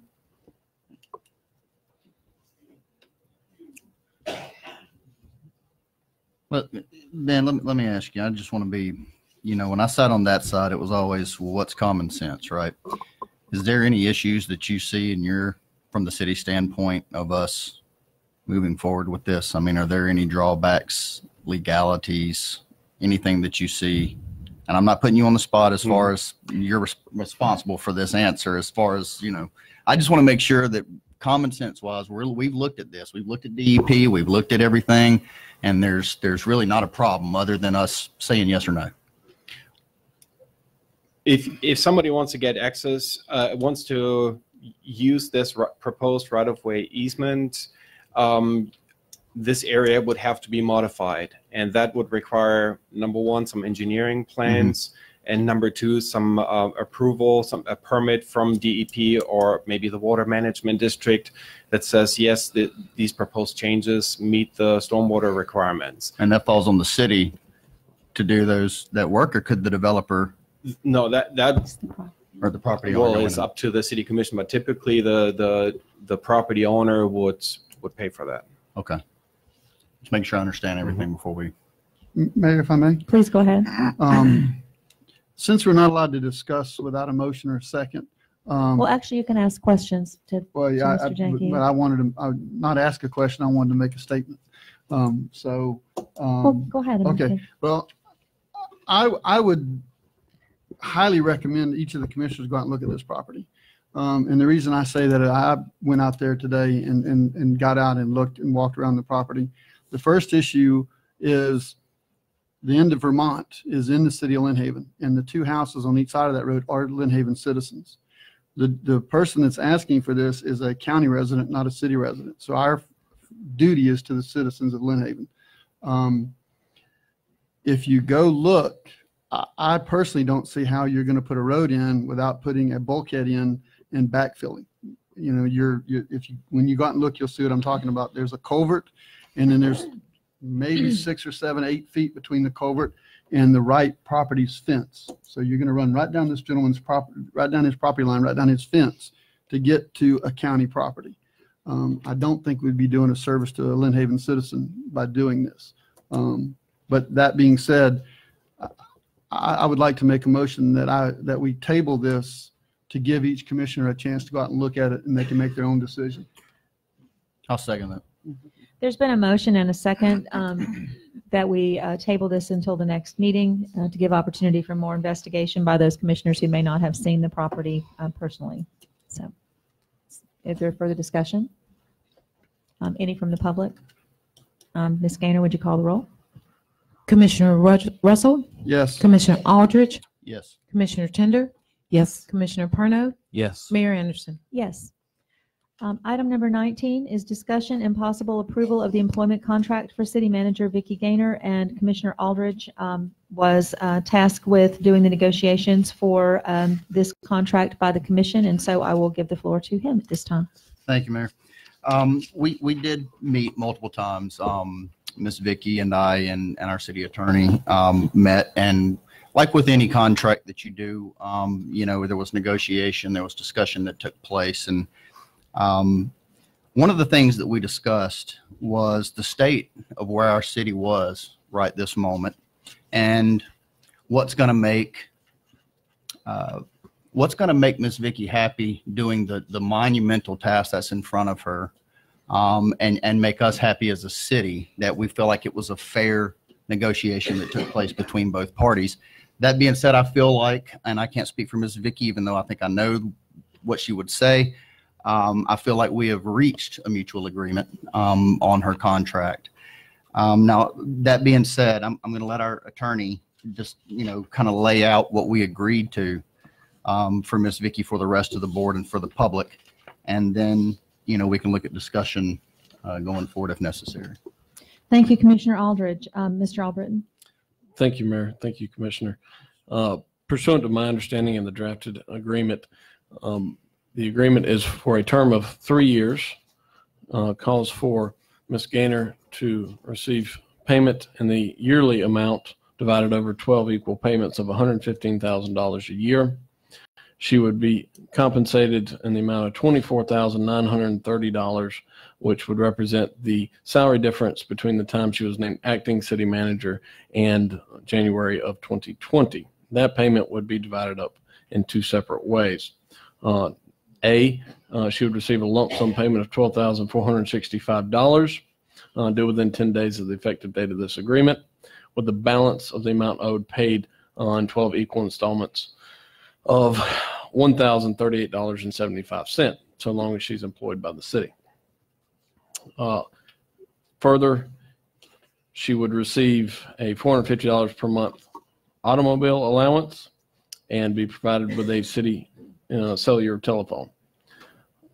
Lastly, um, which was an, uh, an an addition, would be that the city acknowledges that the city manager, and I'll read it, has requested that the vesting period for the general employees retirement fund be shortened to allow her to vest within five years of service. I believe that is the high points. If there's any specific questions, I'll do my best to address them. Yes, and, and, At, at this, at this point, um, if we could, um, allow Ms. Gainer to, um, speak and voice, should this be approved by the commission, if this is indeed your desire, if this, co- if this contract does, uh, relate your feelings of fairness and that you'll be willing to, to work with this contract if it should be approved. there was one thing, if I can, that we left out. Okay, Commissioner Aldridge had one thing he'd like to add. Yes, just, um, we, we also agreed upon the, uh, an annual review that would be at the discretion of the board for bonus, raise, or both.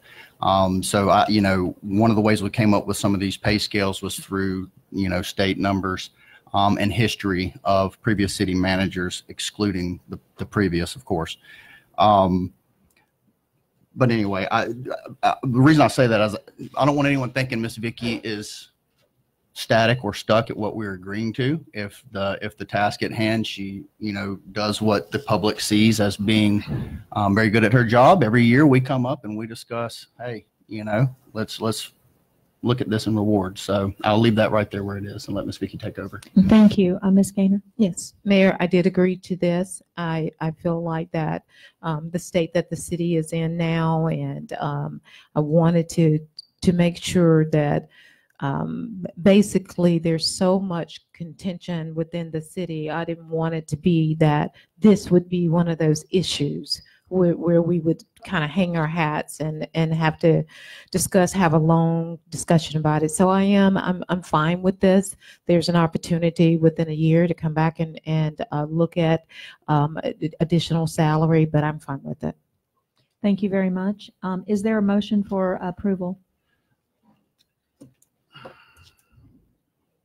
Can I make a motion? You can make any motion that you like. Is there a motion? I make, Oh, go ahead. I make a motion with the, what he says, that we can discuss it. Thank you. Okay, so you're making a motion for the purpose of discussion with the Yes, commission? ma'am. Thank you. Second. There's been a motion um, and a second for discussion of the contract um, with our city manager, Vicky Gainer. Okay, discussion is open. Mayor, if I may? Yes. Um, first, um, I would, I would like to ask the mayor, um, when we did this once before with the previous city manager, it got pretty awkward. And, and I would like to know if the commission would like to consider to offer to let Ms. Gainer step out of the room while we do this if she wants to. Sure. I don't recall doing that before. No, we didn't, and, and it got awkward dealing with, with Mr. White. Um, at least it was awkward for me, but I want to make sure she's comfortable and, and, and give her the opportunity to step out of the room if she would like to step out. You have that opportunity, Ms. Gainer, but certainly do not feel that you have to. No, I, I'd rather. Okay? She asked me. Thank you.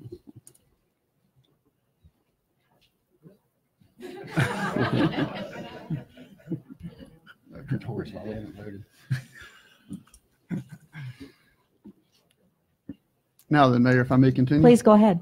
Um, it, it's hard for me to argue this point with, when, when Ms. Gainer has accepted the price at 115. I will tell you that, uh, I think the city's getting a bargain. If you look at, um, Panama City Beach paying 170, uh, Mr. McQueen's making 156, I believe, in Panama City. Um, the Callaway City manager is making 134. Um, she will be the lowest paid city manager in Bay County. Um, I That's not true. I'm sorry. I'm sorry. No, no. I- Well, if, if I'm incorrect, I apologize. and I- I Commissioner appreciate you um, correcting me. Russell, if you wanted to continue, then I'll Yes. grab Okay. Mr. Aldridge. Um, that being said, you know, I had a long discussion with Ms. Gainer and she's okay with this numbers and, and so it, it, I, it's hard for me to argue that because it's your money that we're spending. So, um, that being said, at a minimum, I would like to see us at least pay her that salary from back when she became acting city manager. Because she's been doing this job since then, not since we hired her. I think that's Um, what we just we're- did, we're doing Commissioner that. Russell. Oh, all the way back Yes. to, Since back dated, to yeah. April? Yes. From Yes. March. From March. March? Okay. I March didn't- I- I 19th. misunderstood that then. Okay, thank you. Commissioner Aldridge. Yes, and, that- and that, that's what I was going to get to, Commissioner Russell. I, you know, if you actually add up the back pay with the annual salary, it actually throws her above Callaway, and it gives us a year to figure out where our finances are. Um, lets the dust settle for 12 more months after this storm. That was kind of my mindset behind it. I don't have a personal, I guess I should say, dog in this fight. We're all on the same team again, like I started, and um, you know, I want to do what everyone everyone is happy with. But I was tasked with laying the groundwork, and um, you know, I felt personally proud. Um, again, maybe it's my business side, but you know, you try to keep your numbers low and then let people earn what they, you know, when they start getting into big, big, big dollars. And you know, it's okay that we have differences on and viewpoints on that if we do. Um, but that's just kind of where I was when we when we negotiated these contracts. And I made sure so everyone knows it was, and, and the city attorney can uh, vouch for this. It was an open, frank discussion. It wasn't a one-sided or a here's what we're doing. I, I can't tell you how many times I said, well, you know, Miss Vicky, uh, are you satisfied with this? Are we satisfied? So I, I felt like I did my due diligence. Let, let me put that out there and I'll, I'll leave it, leave it where it is. I would say that I had some very different ideas about the contract. Um, Had I been the negotiator, I would have probably approached it differently, but this commission chose um, not to follow tradition and have the mayor to negotiate the contract. So therefore, I'm going to go along with what this commission has, um, has pushed forward. But um, I certainly would have gone in a different direction. Mayor, if I Yes. may? Yes. Okay, I do have a, a couple of things that I want to ask. And uh, uh, the one thing I want to ask is under number 11, it says about education that we will um, foot the bill for that. I want to know how, is there a limit to that? Is there any kind of monetary limit or is, could she go back and get her master's on the city? She actually has a master's degree. Okay. It, it, this references subscription and professional dues. Okay. So there's the City Managers Association, things like that are conferences. Um, but certainly I don't think that Ms. Gainer would qualify for any, um, further personal education like college, uh, ed- educations based off section 11. Okay. Mayor, And- um, I I was, Mayor, if I may? I, th- I think Commissioner Tinder was still asking, so I I'll got come just back a to few you. more things. I'm sorry. Um, and just so the public is aware, with the 115,000 and the car allowance and all these things, all the benefits, her actually sat her actual combined salary is over $132,000 a year. Uh, not to be confused with 115. I also, um, and I'm whether I'm in the minority or not, it doesn't matter. I have to speak how I feel when Ms. Gainer took over on March 9th of last year, she was given a 15% increase at that point. And t- for me, I don't necessarily agree with going back retro for a year and coming up with another 25,000. That's, that's just my personal thing. And then I only have one more thing to say, and then I'm done. Number 16 in that contract reads, "The employer acknowledge, the employee acknowledges she has had the opportunity to consult with legal counsel of her choosing and has not in any way relied on any representation of employer's attorney." Now, where does that leave us? Because you're talking like that you were in on this. You are, you are our attorney. Correct. I do not represent Ms. Gainer in the negotiations with the city to establish her contractual terms. I represent the city itself. Ms. Gainer has, if she so choose, could bring in an attorney or she can do it herself. Okay. But I have, I, there's no contractual obligation between me and Ms. Gainer. Only, the only, ti- only reason we have a relationship is because she's employed by the city. Okay, thank you. That's all I have to say. Thank you. Um, Commissioner Russell, I believe you had something? I, I was just going to answer the, the first question that she had. Under section 11, it says that the, the the amount's annually limited by our budget. So this commission sets the budget, how much she can spend. Thank you, Mayor. Are there other comments or questions about the contract? Yes, Mayor. if Go I ahead, may, please, um, Mr. Per- uh, Commissioner if we're- Perno. If we're going to retro um, Ms. Gainer back to, uh, to, to March, um, and then we're going to put a, an annual review, um, I was under the thought that her review should come at maybe a six-month point versus a year, Well- because that would be an actual year.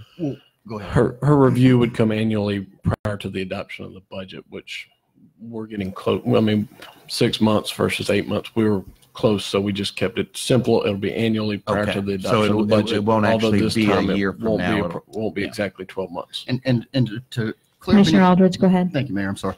To, to clear up any confusion on that, we're not paying, like she didn't get paid anything those months. She's just getting paid the difference of what she's making now versus what she made then. So you're right. She got the fifteen percent then. She's not getting another fifteen percent. It's just going to be stacked on top of what she didn't make at that point in time. Does that make sense? An additional 25,000. It's a, well, it's the city manager's salary that she would have made because she was the acting city manager. But the money she made at the time, we're not going back and saying your hundred thousand, you know, we're going to pay you full hundred thousand back from March. We're going to say, okay, here's what you made those, let's say March. Mhm. Here's what you would have made under this new agreement. So the difference is X amount of dollars. So it's really like she was making this salary back in March when she was doing this job. It wouldn't, it, she's not making any more or less than she's making now. Does that make sense to you? No. Quite honestly, it does not. Did I, is there? She's retro paid us. Um, Commissioner Perno, did you want to add something? No, I just, I just Okay. had an understanding, that's all. Okay. Anyone else? Um, is there a motion or are we at that point? Had a motion for. We had a motion for the discussion. purpose of discussion, but I don't believe it was a motion for approval. I'll make a motion for approval. I'll second. There's been a motion for um, approval and a second um, of the contract uh, that has been uh, negotiated. Um, Mr. Albritton, could you call the roll, please? Oh, Commissioner Russell, Yes. Commissioner Aldridge, Yes. Commissioner Perno, Yes. Commissioner Tinder, No. and Mayor Anderson. Yes. And so the motion carries. Um, Moving on, to, uh, congratulations, um, our city manager, uh, Ms. Gainer. Um, Not only are you the city manager, but you actually have a contract now. That's right. That's right. So, There you are. Um, We look forward to a, a long relationship. Um, Yes. There was no public commentary. That would be the mayor's fault. Um. Ms. Walker, would you like to say something? I'm sorry.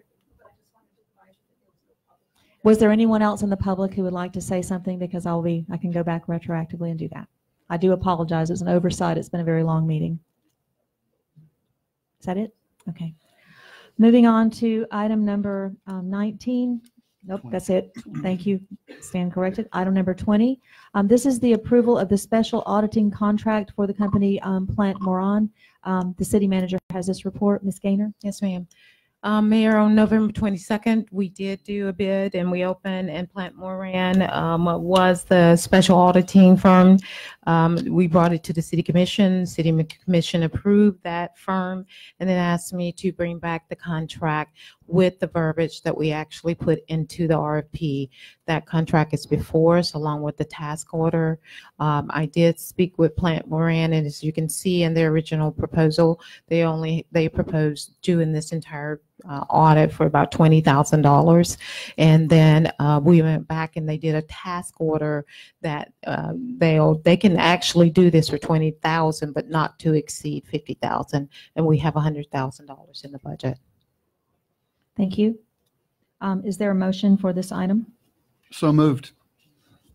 There's been a motion and a second. Um, Is there any discussion from the commission or questions from the commission? Yes, ma'am, if I may. Go ahead, Commissioner Russell.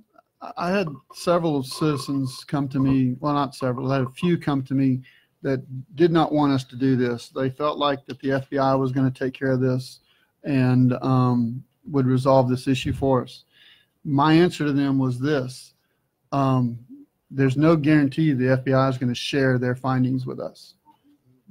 You know, if, if, if they plead out, there's no trial, there's no discovery, there's no evidence, then the commission is still left here wondering what happened. That's the reason I'm supporting this. Thank you, Mayor. Um, Thank you. And um, I had um, one comment that I wanted to make as well, and, and um, it's item number 15 of the contract, the work product. The client shall have unrestricted right to the use um, of the documents, analyses, and the others prepared by the contractor and so forth. Um, And this is in no way to diminish our city manager, but I would like, once these findings are uh, found, should we decide to go forward, that the client would be the commission and the city manager, and that we would all be informed separately and at the same time of these findings, um, because the commission is really uh, the client of this, looking um, to see um, what has um, occurred, if anything. So um, not to diminish our city manager at all, but I would just like for the commission to have, uh, at the exact same time that the email or the findings are sent to the city manager, I'd like for the commissioners to receive the same. So I would like to have that caveat if that's possible in the contract, Easy enough, Mayor. I can make that change, assuming it's approved by the commission. if the rest of the commission agrees with it. Um, Any feedback? Mayor, I'll amend my motion to include that. Thank you. Is there a second? Second. Okay, there is a second. Okay, thank you. And, and also, um, I did have one other comment. I'm sorry, I don't mean to be the talkative one on this one. But, um, I do agree that there is, um, a lot of auditing that's taking place, um, with the city right now. Um, but I, uh, have felt bound from the beginning, um, when Commissioner Tinder first brought this up. Because for those of you who were here when I became mayor in 2015, I asked for an audit at the time I became mayor. And I asked for it several times, um, over and over because I wanted a clean slate as the mayor of the city with a clean financial um, record. And I was voted down time after time after time. And so therefore, I did feel obligated, even though this FBI investigation and the other auditing is going on, I did feel ob- obligated to stand by what I had originally said. So that's why I'm voting yes. Excuse me, I just said I was going to vote yes. That's why I'm in support of this. Um, Do I need to do anything else to cure that comment I just made? No, ma'am. Thank you. Mayor, if I may. Go ahead, Commissioner This, Perno. this, this will not exceed fifty thousand dollars. Uh, Commissioner, uh, The not- initial- Mr. initial- Albritton, sorry, I just promoted you the from initial Commissioner or task demoted, or order. demoted, whichever. The initial task order uh, is an anticipated price of twenty thousand, but not to exceed fifty thousand. Uh, One of those thought processes behind it is you just didn't want to give them a blank checkbook with a hundred thousand because typically if you do that, they're going to do enough work to accomplish that. So uh, assuming that, you know, if they come back and the commission wants them to look at a certain avenue uh, that they bring up, then there's going to be an additional fifty thousand that was uh, set aside for this based off the commission's prior uh, dictation to this matter. This will not exceed fifty thousand before coming back to this commission. That's according to the task order and agreement that hopefully will be signed, assuming the commission approves this, yes. And Commissioner Perno, not to chastise you at all, but would you please try to speak more into the microphone so the public can hear you? Thank you so much. Is there any further discussion? Any from the public? Yes, Mr. Walker. I can do this from here. You have to do it from here, sir, so the people listening at home can hear. I apologize. If I remember correctly, is this the forensic audit? Yes, it is. How come we dropped the word forensic out of this one? Um, I'll defer to the attorney on why that word is not used. We've been using special auditing services throughout uh, the last few agenda items that has been discussed. Uh, I, I- it is a, it's not the yearly auditing, it's a special auditing request. Could you clarify for Mr. Walker that the words would be interchangeable for the purpose of this commission, what we're doing, or would they not? I think the scope is the same, one way or the other. Thank you. Okay, as long as the scope is the same. Um, And I, I tried to listen to what you said in the monetary sections of it. The original forensic was a cap of hundred thousand dollars. That's correct. I, I'm, I just want to hear that. And what we're starting off with is twenty, and it can go to fifty, and if we find anything else, then we agree and then move on. Is that correct? In the forensic, forensic was special. Ye- Yes, sir, that is, um, I believe that is correct. And if I could just state it in my own words, just to make sure. I think you said it that way, and I, maybe I The, changed the it. task order that. The gist is the same. The t- task order uh, that would potentially be issued to this firm uh, would be to perform under um, the scope of labor as issued in the RFP uh, for an amount um, no less than 20,000, but not to exceed 50,000. Uh, And then they was presumably bring some report back. I will leave that to them. They're the Mhm. experts. And if there are uh, other items that the commission would like them to review, then we have an additional $50,000 or whatever the difference is budgeted. That's- Question what I answered? remembered. That's Thank you. good. Okay. Is there any other discussion from the board? Any other discussion from the public? Ms. Gainer, would you please call the roll for approval? Commissioner Russell? Yes. Commissioner Tinder? Yes. Commissioner Perno? No. Commissioner Aldridge? Yes. Mayor Anderson? Yes. So the special auditing contract with Plante Moran is um, approved with that caveat of, of uh, the client. And I'll get the change Thank you. back. Item number 21, um, discussion and possible award of the RFQ number 18 slash 19 dash 4B for the city's annual auditing services to James Moore Certified Public Accountants. Um, Ms. Gainer? Mayor, as you, as the commissioner, we put this out to bid several times and um, we did get some bids back. Uh, We had one from Tallahassee and then we had another um, firm that was going to apply for this, but uh, decided not to uh, inferring about the, the special audit. And uh, so after doing some checking, we did do a little bit of background and called a couple of his references. Um, Our recommendation is that we go with this, uh, with James Moore, um, so that the city can get an audit done. We need to get started right away. Is there a motion? Mayor, I make a motion that the commission accepts this uh, audit for one year with the option of a second year. A second. There's been a motion and a second. Are there any uh, questions or discussion? There appear to be none. Any from the public? Um, Yes, Mr. uh, Yunt.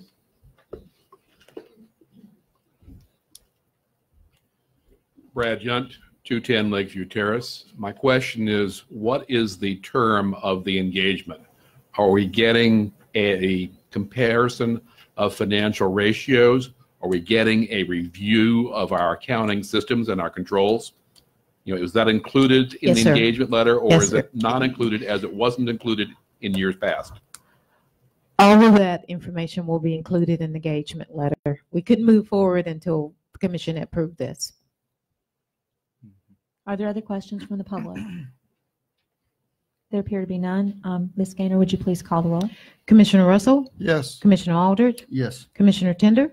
Yes. Commissioner Perno? Yes. Mayor Anderson? Yes, so it stands approved. Moving to item number 22, discussion and possible award of RFQ number HM 19/20-2 to the top three architect design teams, DAG Architects, Florida Architects, and Mott MacDonald for the city's design and rebuild, giving the city manager authority to move forward with negotiations and contracts. Ms. Gainer? Mayor, yes, we did have a bid opening. We had a, we had over 10, well, we had 10 firms to um, submit for the design and uh, architecture design of the city buildings. Um, We had a committee of four that reviewed all of those books. And most of those books were probably about you know, probably 200 pages. And so it took us a while to get through those. And um, we are recommending these top three firms. Uh, one of the reasons we are recommending top three firms is because these are, this is a massive project. It's just not one building, it's several buildings. Um, it will take a, a, a very long time. And we, we did see, the committee did say that they saw um, some strengths in each of these firms to be able to do some of these projects. So we're hoping that we will be able to go into negotiations, um, find the strengths of each firm and their partner, and um, bring that back before the commission. Thank you. Um, Is there a motion to go forward with this um, award? So moved. Second? There's a motion and a second. Is there dis- discussion or questions from the board? Um, I did have one uh, comment that I wanted to make, and I did discuss this at length with uh, Ms. Gainer, and that is as we go forward with these contracts, that um, similar to what we did um, four years ago when I first became mayor and we were talking about parks and other parts of the city, that we would have at length public discussion about these buildings and what we want them to look like and what we want them to represent and the design and the size and the expense that this will not just be something that's decided in-house and suddenly you see a new building pop up and that's not going to happen. So that that was my concern.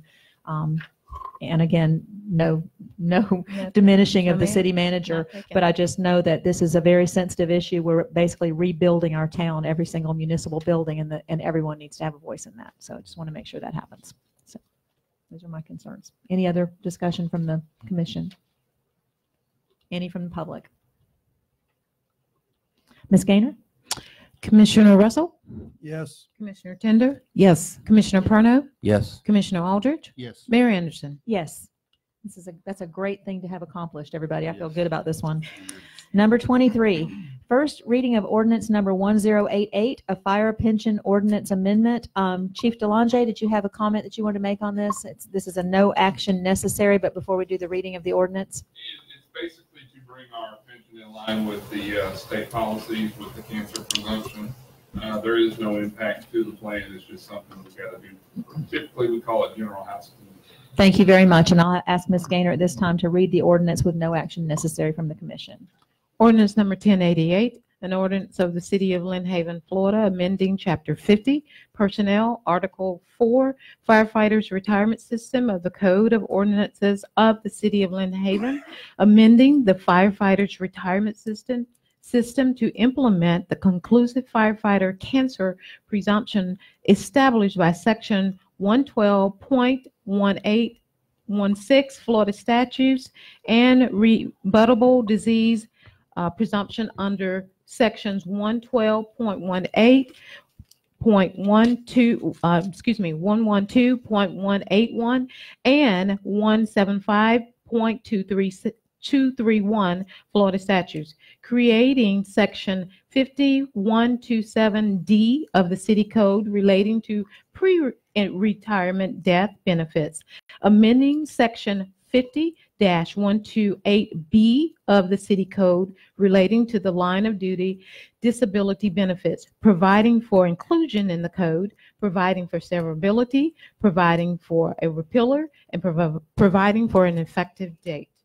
Thank you. And so that is the first reading and no action is required. And so we will move on to item number 24, which is discussion of ordinance number 1071, deciding whether to extend the current ordinance for six months relating to the code of the city of Lynn Haven temporary uses and structures. And we're making you work hard, Ms. Gainer. I'm sorry. absolutely fine. Mayor, this is an ordinance that I, I gladly bring. I think that the citizens of Lynn Haven and Bay County are still recovering. We did pass an ordinance back in uh, January giving residents 18 months to live within um, their um, uh, structures or vehicles or recreation vehicles um, with the option to extend another six months. And I think from talking to so many residents, and I have spoken to so many of them, they are still in the rebuild process. I spoke to one other day, they had not even poured their foundation. Many have not gotten started, and I think that they're going to need this extension, uh, which will take us, I think, into February of 2021. Yes. Is there um, a motion? So moved. Second? There's been a motion and a second um, to extend uh, this ordinance. And um, is there any discussion from the commission? Any from the public? Um, Go ahead. I would just like to say that. You have to come up, Mom. I'm sorry. My house, um, You have- over a year and I'm still fighting. I can't Oh, get up. I'm sorry, just speak in there. I'm sorry. They're still working on my house for over a year and it's still not finished. And so I can certainly understand and agree that they need extra time. Thank you. I still believe they're going to get mine done. They will. They will. Is there anyone else who'd like to speak? Thank you. Um, Ms. Gainer, would you please call the roll? Commissioner Russell? Yes. Commissioner Tinder? Yes. Commissioner Perno? Yes. Commissioner Aldridge? Yes. Mayor Anderson? Yes. Um, Moving on to um, item number 25. This is discussion and possible approval of an access easement in the city of Lynn Haven. This is Panhandle Engineering. Mr. Forehand, do you have a report?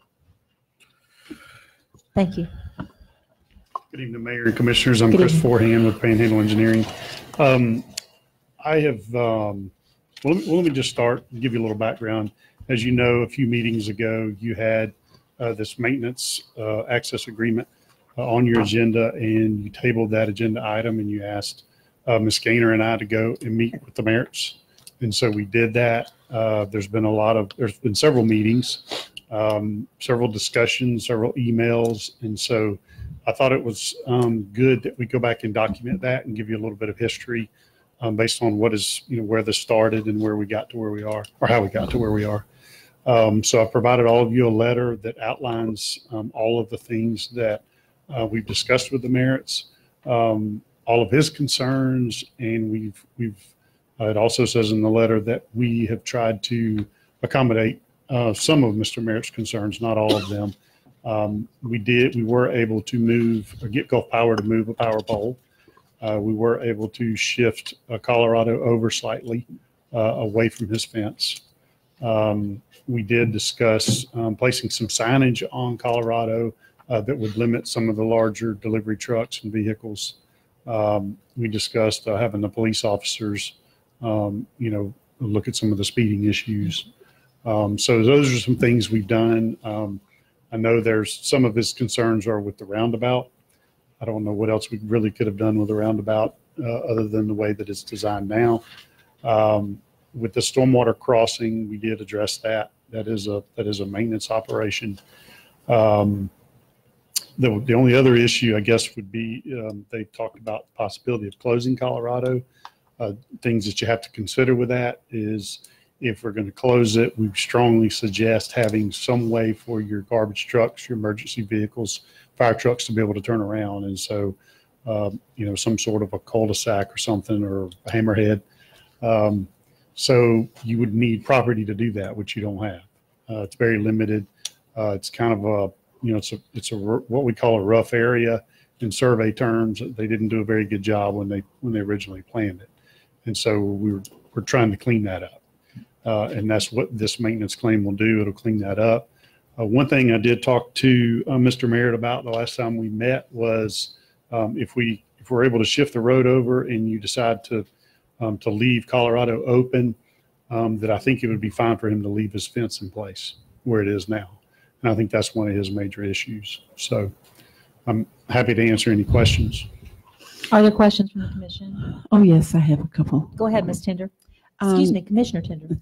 I just wanted to ask you, uh, what is your personal opinion about closing this? I have talked to a few residents and they would like to see it closed because it totally negates the um, security of that community being, you know, possibly gated community or they just feel unsecure now that people can just go down the back way and, and all of that. I mean, and, and I'm going to give you a double thing here. Not just that, but um, what you talked about a cul-de-sac for the garbage pickup and things. Couldn't that just simply be uh, carved out right there where the golf cart barn used to be? That's a huge empty lot. Well, Oh. there's, there's a couple questions and comments Okay. you have there. Um, and I'll address the first one. Um, you mentioned the country club, you know, the country club used to be private. Yes. And I can't remember the year, but, um, back in, when John Lynch was the city manager, they, uh, the city took the country club roads back over and they became public. and then they paved them. So they're now, they're public streets. Uh, so it's not, it's not a, you know, a private community, it's a private club, I guess, per se. They do have an HOA. Um, but in terms of the access, you know, it does provide an emergency access. Um, should there be some issue, you know, with the, with the entrance. Um, the land development code does require on any new subdivisions that you have two access points. So now that is for, that is for new ones. Um, yes, we do have some streets in the city that are dead ends. Uh, I know on Iowa, we are, um, repaving that road and we're going to try to put a small cul-de-sac at the end of it.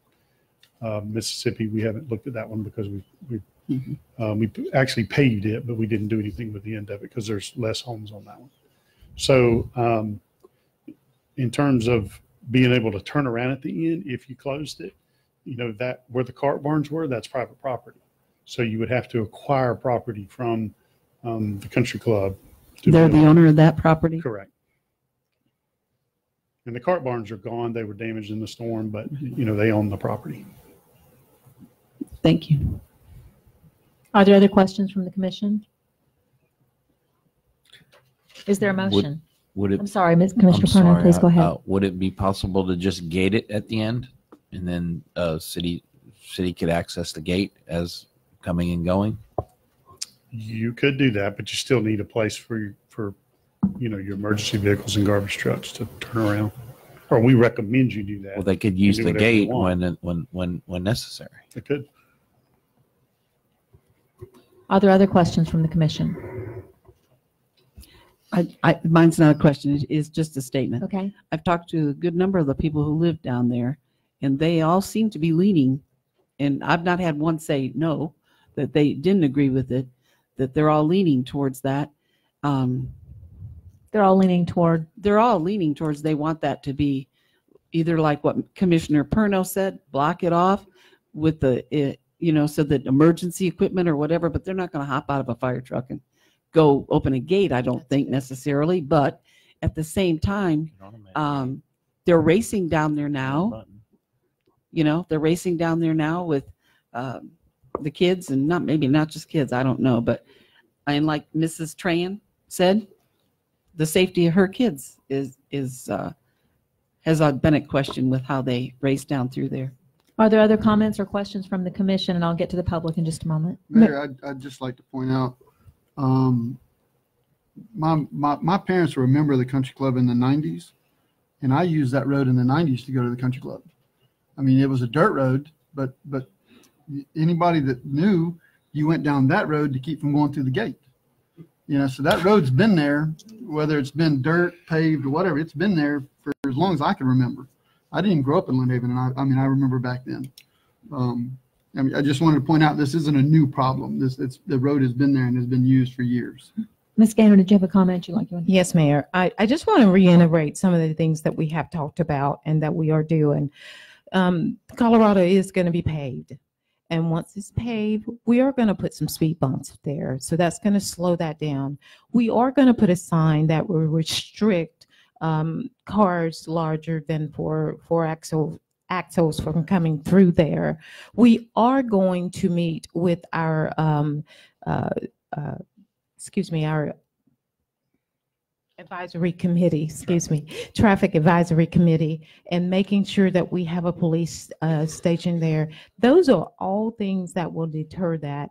Uh, It has not, it's been my recommendation, and I still stand on this recommendation, that we do not close this road. I have talked with um, our fire and police, and that is not something that they think is feasible or should be done. And I am concerned about the safety in that area.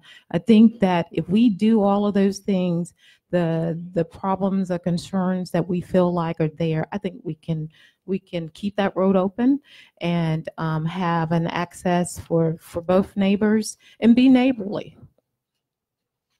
Are there other comments from the commission? Thank you, Mr. Forehand. You. Now, um, I would like to open this then to the public. Are there uh, those who would like to comment? Yes, Mr. Merritt, go ahead. Thank you. Ron Merritt, uh, 414 Colorado. And first, I'd like to thank uh, city manager, and even uh, Chris Forehand and, and all the, everybody's been very cooperative in trying to help us solve this. Appreciate you taking time to drive down there, and Ms. Tinder also went down there as well. If you guys haven't seen it, it's nice to see. We all know about it, and everybody who lived in Lynn Haven for some time has driven down the high-speed bypass to Country Club Drive. And yes, it was a dirt road, and it over time went from one side of the telephone pole to the other side of the telephone pole as people parked their golf carts and eventually drove through our yard. I understand the state statutes on taking an easement. Uh, and what I'm hoping is first, you know, there are options to close the road. I know that it's not the preferred option, but there are, we just went through this, hammerheads, tees, many ways to do this. And I might point out that while it would take buying property from the country club to make a cul-de-sac, the city does not own that connecting piece of road there. That's owned by Dr. Tran, and you have an easement on it. The curve, that little piece there, is our property. And as of, as of right this minute, you don't have an easement on it either. That's, that's kind of no man's land.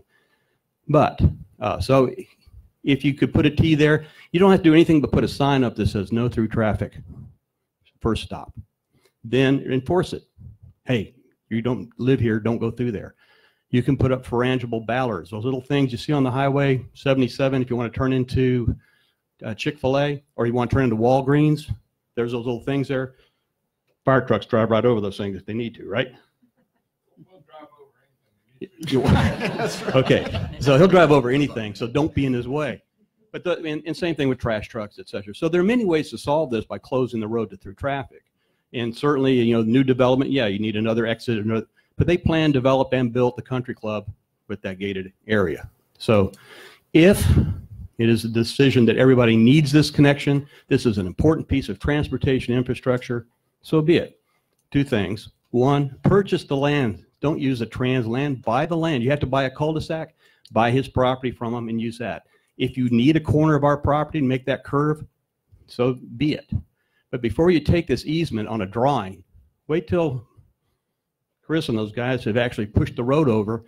And if you need a corner of our property, so be it. That's fine.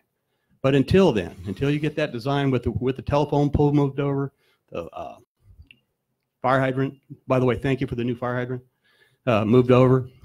Now, Why do that? Why take our property if you don't have to? Uh, You own land. You've all seen the packages. You've seen where the city's footprint is. You're not on your footprint. You're, you're in my yard. You don't have to. 2020, we can look back, shift over just a hair. Pump the brakes. We're happy to work with the city engineers. We're happy to work with everybody, but the, everybody in the street, and they all went home except for DW, uh, would really like to close it to through traffic for a lot of reasons. If we can see a way to do that, great. If it's important not to do that, let's just do it right. Thank you so much. And um, is, is there anyone else from the Colorado area who would like to speak? Am I, I'm assuming that Mr. Merritt is speaking all of your concerns. Does anyone have a different concern? Go ahead, sir. Yeah, my name is uh, D.W. Smith. I own the property at uh, 504 Colorado, and also I live on uh, Country Club Court, so I own both sides of the of the road. Okay, on Colorado on the rear entrance. I'm also a member of the board of directors at Panama Country Club, and and the homeowners association also. So there is a history there of having a private community. It was turned over from the homeowners association probably 20 years ago, uh, just to keep the roads. But that's the road around the, the the circle. It was not Colorado. Okay, Colorado was not deeded to to the city, and the traffic is horrendous there. And both sides, I have grandchildren and pets, and just echoing all the the comments of the people there, it is a safety issue, and we need to do something about it, and we can do it now. We just put some bollards up, close it, please, please close it. Okay, Thank you. it's private property. Uh, We still have property rights in America. Thank you. Anyone else? Further discussion from the commission? Um, I, I have, we had a motion for discussion or do we have a motion for approval? I forgot it, uh, what, what they said. I'm sorry. It's been a long discussion. Mayor, I don't believe we have a motion on the We floor. didn't have a motion at all. We, we had a discussion from Mr. Forehand. Thank you. Is there a motion? Thank you. Mayor? Yes. I'd like to make a motion that um, we do what Mr. Merritt's recommending. Let's just pump the brakes a little bit, give Mr. Forehand and Panhandle Engineering the opportunity to set where the street is actually going to be. And um, address. Personally, I'd like to speak to every single person who lives on that street. I've spoken to about five of those families myself, but I would like to investigate closing that a little bit closer and just giving it some real heartfelt um, due diligence rather than this is a big issue. So is your motion to table this? Is that what you're asking for? Sure. That yeah, that works. That works. Okay. Is there a second? I- I'll second that. I don't, Okay. There is a, a motion um, to um, explore and listen more carefully instead of making a quick decision, I think is what Commissioner Tinder was voicing and Commissioner Aldridge has uh, seconded. So um, progress is sometimes slow, but progress is sometimes um, better when it's slow. Okay. So is there um, any other discussion? Yes, if I may? Yes, Commissioner Russell? I'll, I'll be quick. I was just going to say, I, Commissioner Russell was first. Oh, Commissioner oh, I'm Russell. sorry. Sorry. Go ahead, go ahead. Mr. S- uh, Mr. Smith, um, you say you're a member of the HOA or you a member of the country club? Both. Okay. I'm not on the board of the HOA, I'm on the board of Country Club. Oh, okay. Okay. I was gonna, I was gonna ask you as a member of the HOA, uh, just curious enough that, uh, well, no, the country club. Would the country club be interested in selling part of that property where the cart shack was so that we could move the road? If the, if the city deemed that they didn't, weren't gonna close it, you know? I mean, it's just a thought. Another, just- another possibility. Yeah. I mean, I, I'm, I'm so, I- I'm personally so inclined that, that I don't think closing the road is good for the subdivision. It may be good for the people in Colorado, but I think it's bad for the people that live in the country club. I lived there for years, all with the, one, one road, and only one of the people would sneak by on Colorado, and it wasn't supposed to be a through. Now, that was you sneaking by there. Well, no, my mom, my mom, my- Okay. no, no, we were actually. If we can, um, club, we were coming- If we can go back to Robert's Rules of Order so that we're following our charter, um, we're sort of talking back and forth, but- which is okay. This has been very informal and I think it's been very good. So are there any other discussion, um, comments from the public? Anybody else? Anybody else? We've had a motion that we table this. We've had a second. Is there any discussion from the Yeah. commission? Yes, Mayor. All, I- all I was going to say was Okay. I, I agree with, um, with you guys that, that there are still property owner rights in the United States of America. And I am about as mm, conservative as it gets. So I, let's try to work this out. I agree. There's no need in rushing through this thing. Um, well, I won't go there anyway, but thank you. Okay, so anything else? Yes, Mayor. I just, Go I ahead. did want to ask Chris to elaborate on whether or not this would slow down the process of the paving, fa- paving on Colorado. I don't- I don't think it will, but we still have to um, install a force main out on 8th Street um, that affects the roundabout construction. And they're not going to do any paving until they do that. And then we also have that crossing to build. So that'll take a few weeks to get that done. So it So we gives have us a some little time. time. We do. Okay, awesome. Okay, Ms. Gainer, would you please call the roll? Thank you, Mr. Forehand. I'm sorry. Commissioner Tinder? Yes. Commissioner Russell? Yes. Commissioner Perno? Yes. Commissioner Aldridge? Yes. Mayor Anderson? Yes, and so we will be spending a little more time um, looking at this and trying to find some solutions that make everyone happy. And um, we'll move on to um, item number 26, which is discussion regarding formation of an employee grievance committee. Uh, Commissioner Tinder, this is your item. Go ahead. Thank you, yes. Um, I brought this to the, uh, commission, of course, because we can't discuss it behind, you know, closed doors, so course. here we are. Um, I would like to propose, at the very least, having a workshop, public workshop, whatever you want to do, to, um, look into having a grievance committee for Lynn Haven city employees. Now, there are sheets in, in our 171 page handbook that um, address grievances. However, we have situations where you can't just go to your immediate supervisor, the immediate uh, director, and then our things basically say now you go to your director, and if you're not happy with those results, then you go on up the board to the city manager. Um, and that all sounds great. And the reason I bring this up is because recently we um, lost our deputy finance director, and she had nowhere to go because she reported directly to the city manager. So I feel like we have to have something in line for those directors who run into a problem. Who are they to go to? Who are they supposed to go to?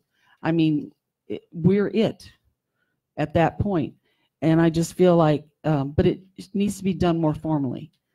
Um, I did receive a call from uh, Beverly Waldrop, and we went over everything that she told me, and it's you know, she said, she said that kind of thing. I'm not going to say who's who's telling the truth and who's not telling the truth, but I do feel that our directors at that level have to have somewhere to go. They just have to have somewhere to go, or we're just going to be going lawsuit after lawsuit when this happens. Um, is there, um, would you like to put that in a motion or? Uh, Yeah, I'd like to make a motion that we um, have a meeting to discuss this or a workshop, whatever you are comfortable with, to see if, you know, we come up with a plan. I don't think it's just a matter of somebody coming to one commissioner. That's not going to help anything. I think we have to have a, gr- a group set up, you know? Whether it's the person that's leaving can select one person, city manager can select one person, however, however, but I think it needs to be discussed and we need to come up with a solution to the problem. Is there a second to Commissioner Tinder's motion? For the sake of discussion?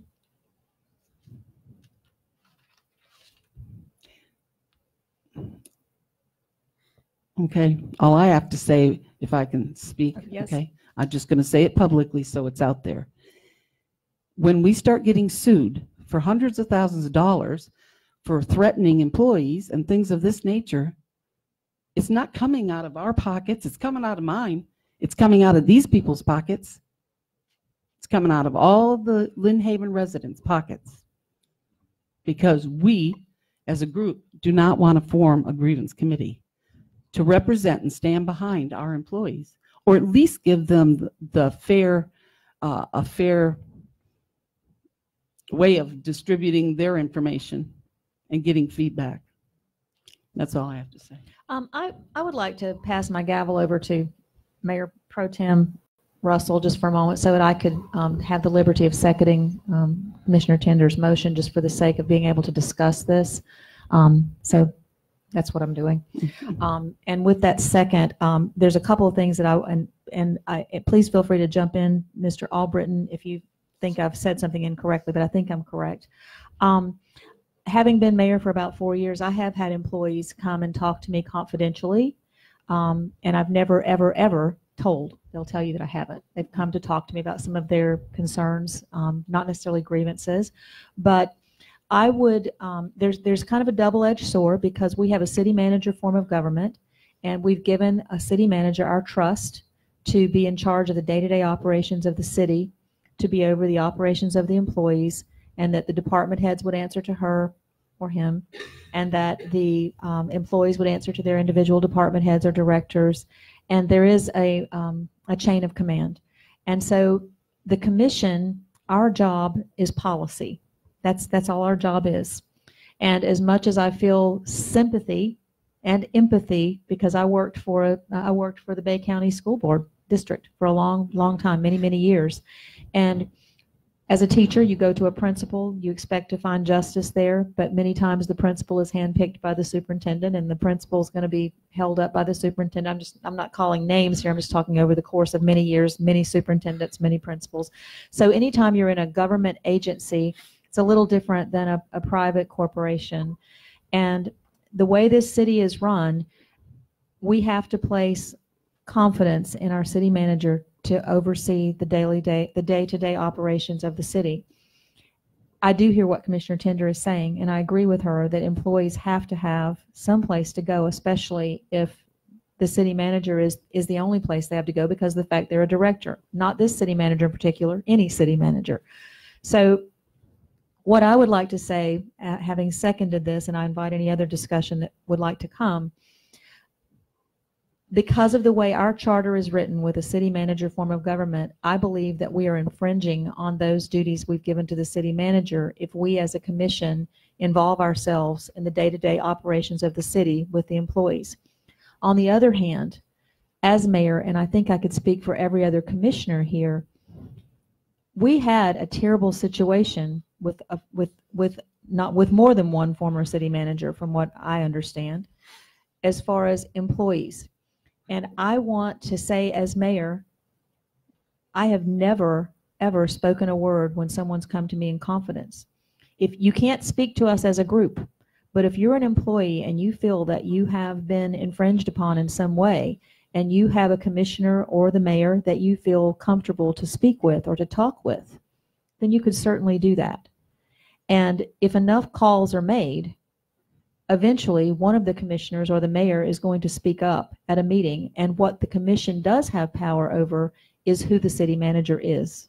And, and the, the commission does have the power to discipline that city manager or clerk if we feel that employees are being mistreated. So Commissioner Tinder, with all due respect, I would say that for us to form a, an employee grievance committee, you're involving, you know, a commissioner, one commissioner, which one would it be? I, I personally don't see that we could do that, but I do think that we need to put an open invitation out to our employees here in the city that if your only person to answer to is the city manager, and you truly feel that whoever that city manager is has done an egregious uh, uh, act or has treated you in some way that's unfair, then we are your only place to reach. So please reach and do it with confidence. And that's all I would have to say. I don't know if anyone else wants to comment. Thank, thank you, Mayor. Um, And I would, I would like to say that I, I completely concur with your, uh, your, your statements. Any other commissioner have anything they'd like to offer? Um, Just uh, for my own um, information for y'all, um, we have a policy in place for personal problems, grievances. Um, The one issue that you said is, to me, is an isolated issue. Just like I talked about with land use, unless you give me a significant reason why we change policy, I'm not for changing things. So with one person's issue, I mean, unless you've got others that you can come to and say, all right, this person's had an issue. If it's one isolated issue, then I, I personally can't support it. That being said, um, does any other commissioner want to say anything before I open it to public, uh, comment? I'd like to say something. Sure. I have had other people. I have had other employees. And I won't ever speak their names either. I'm, I feel just like the mayor does. It's in strictest confidence. And I'm not going to do that. I'd rather do it, create something that can be helpful to our employees so that they don't um, go complaining to everybody. And I don't mean everybody literally, um, but I hear complaints about all kinds of crazy stuff. And when I say to them, why don't you go to your supervisor? They go, because I don't want to lose my job. I go, they're not going to fire you for complaining. Oh, yes, they are. And I hear chuckles in the background. So, and, and they, and it's written in a way that says, oh, there cannot be any retribution. There can't be. But six months down the road, keep your eyes open. You know, I mean, that's what they're telling me they feel. I'm not making that up. But um, so with that said, I just, I just wanted to concur with you. I, I don't give up anybody's name and I never will. Anyone else? Yeah. um, Go ahead. I'm sorry, I'm yeah, not, I don't have the gavel. I'm sorry. um, Public comment? Yes, sir. not to protract the evening any further, but uh, I grew up in the Air Force and we had a the IG system. Uh, so if someone had a complaint, there was a, a, a route. Sometimes the problem is the commander. Sometimes it's the commander's commander, or it's a system. Uh, so it's always good to have some other avenue to exercise if you have a problem. Uh, do accident investigations for the Air Force and for the NTSB. Sometimes the problem with an aircraft accident is leadership, not necessarily the pilot. Although it is difficult, and without some privilege, some way to do this to the side of the organization, it's hard to find the right answers. That said, I understand all the other nitnoid issues here. What do other communities do? What do they do in Panama City? Do they have a grievance committee? Does a beach have one? I don't know. No one else does. The beach is civil service, so they're a little different. Mr. Walker?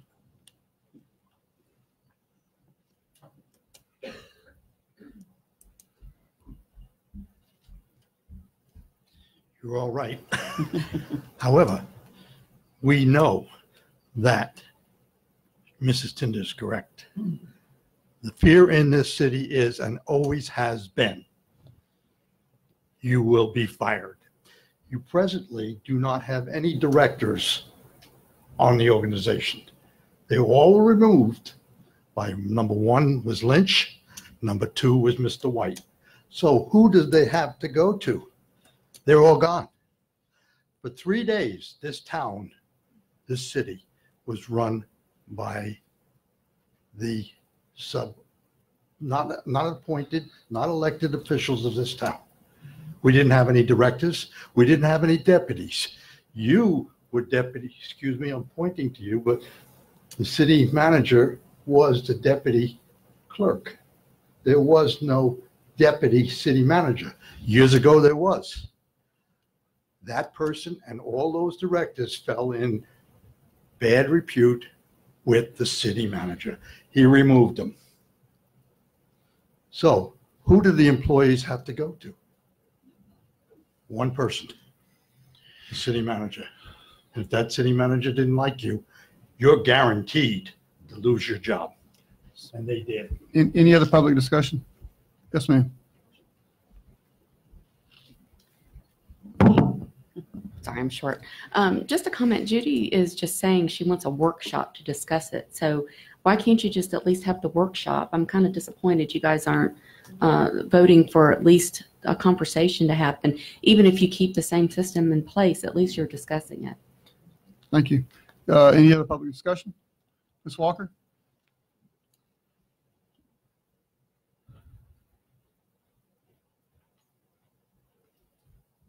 Janet Walker, 1106 Michigan Avenue.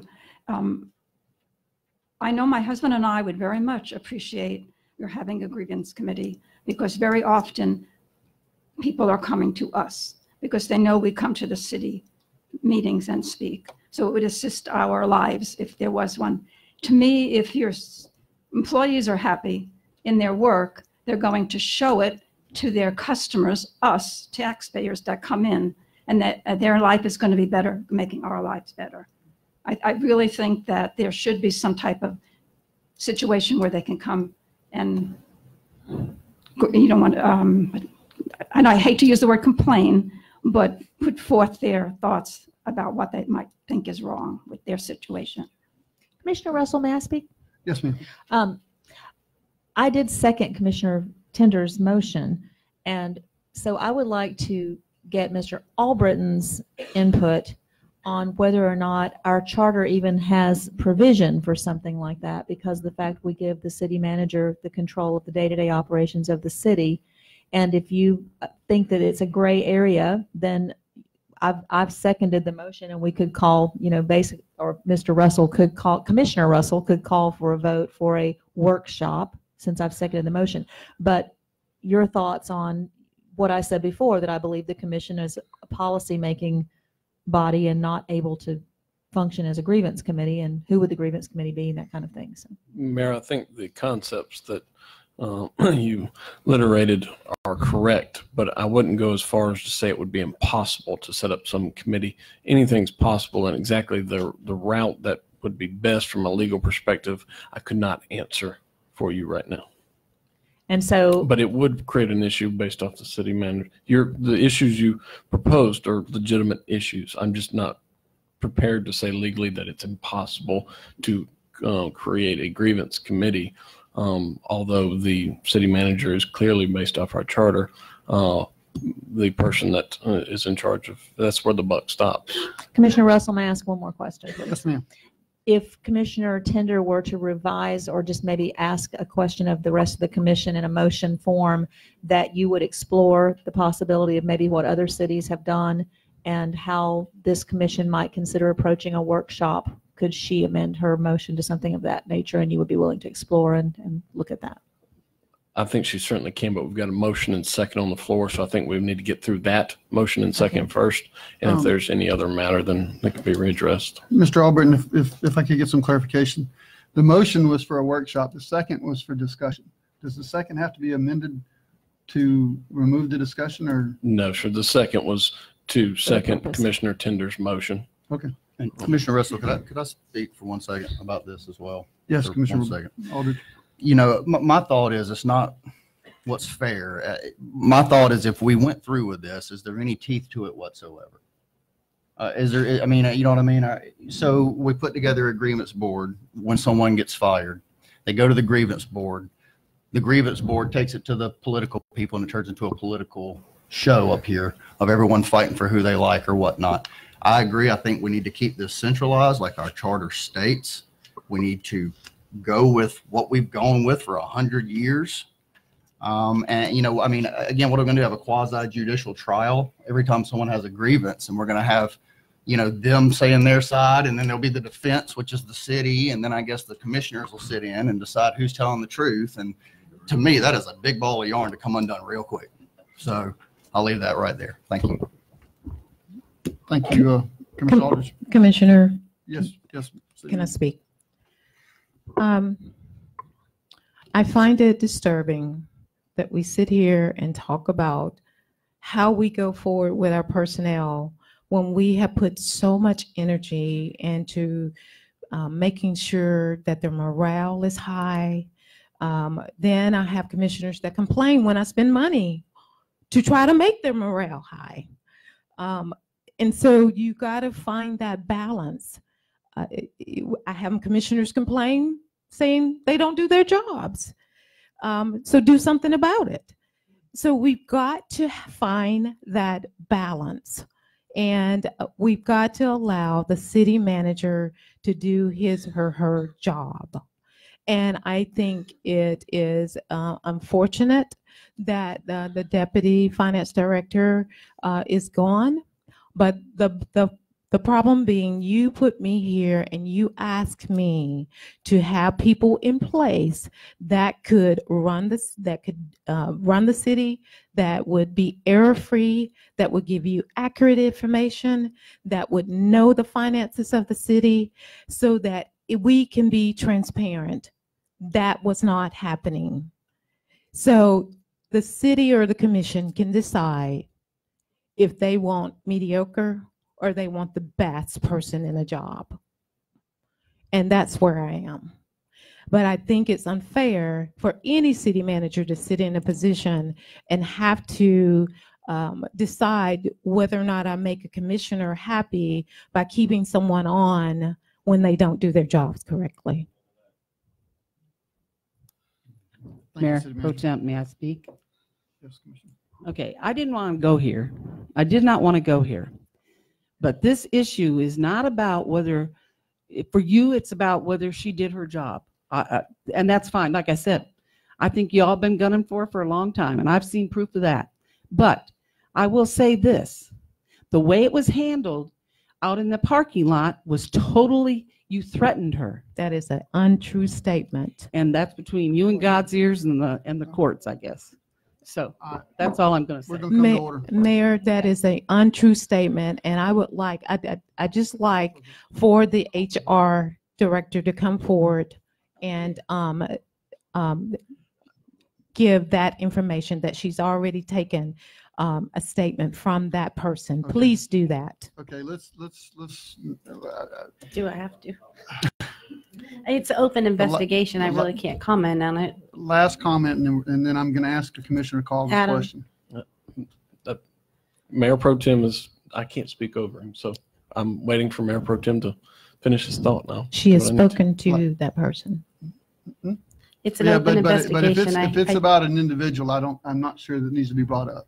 That, that would be correct. There's personnel matters uh, that HR I is don't aware feel of, which is comfortable mentioned that talking ta- Then- talking about it in an open investigation Mhm. could be problematic for the city. So I would not, prefer to see the city not get into any of the specifics of any um, issue between any uh, particular employee or former employee of the city in this context. Okay, we have, we have a motion on, and a second on the floor.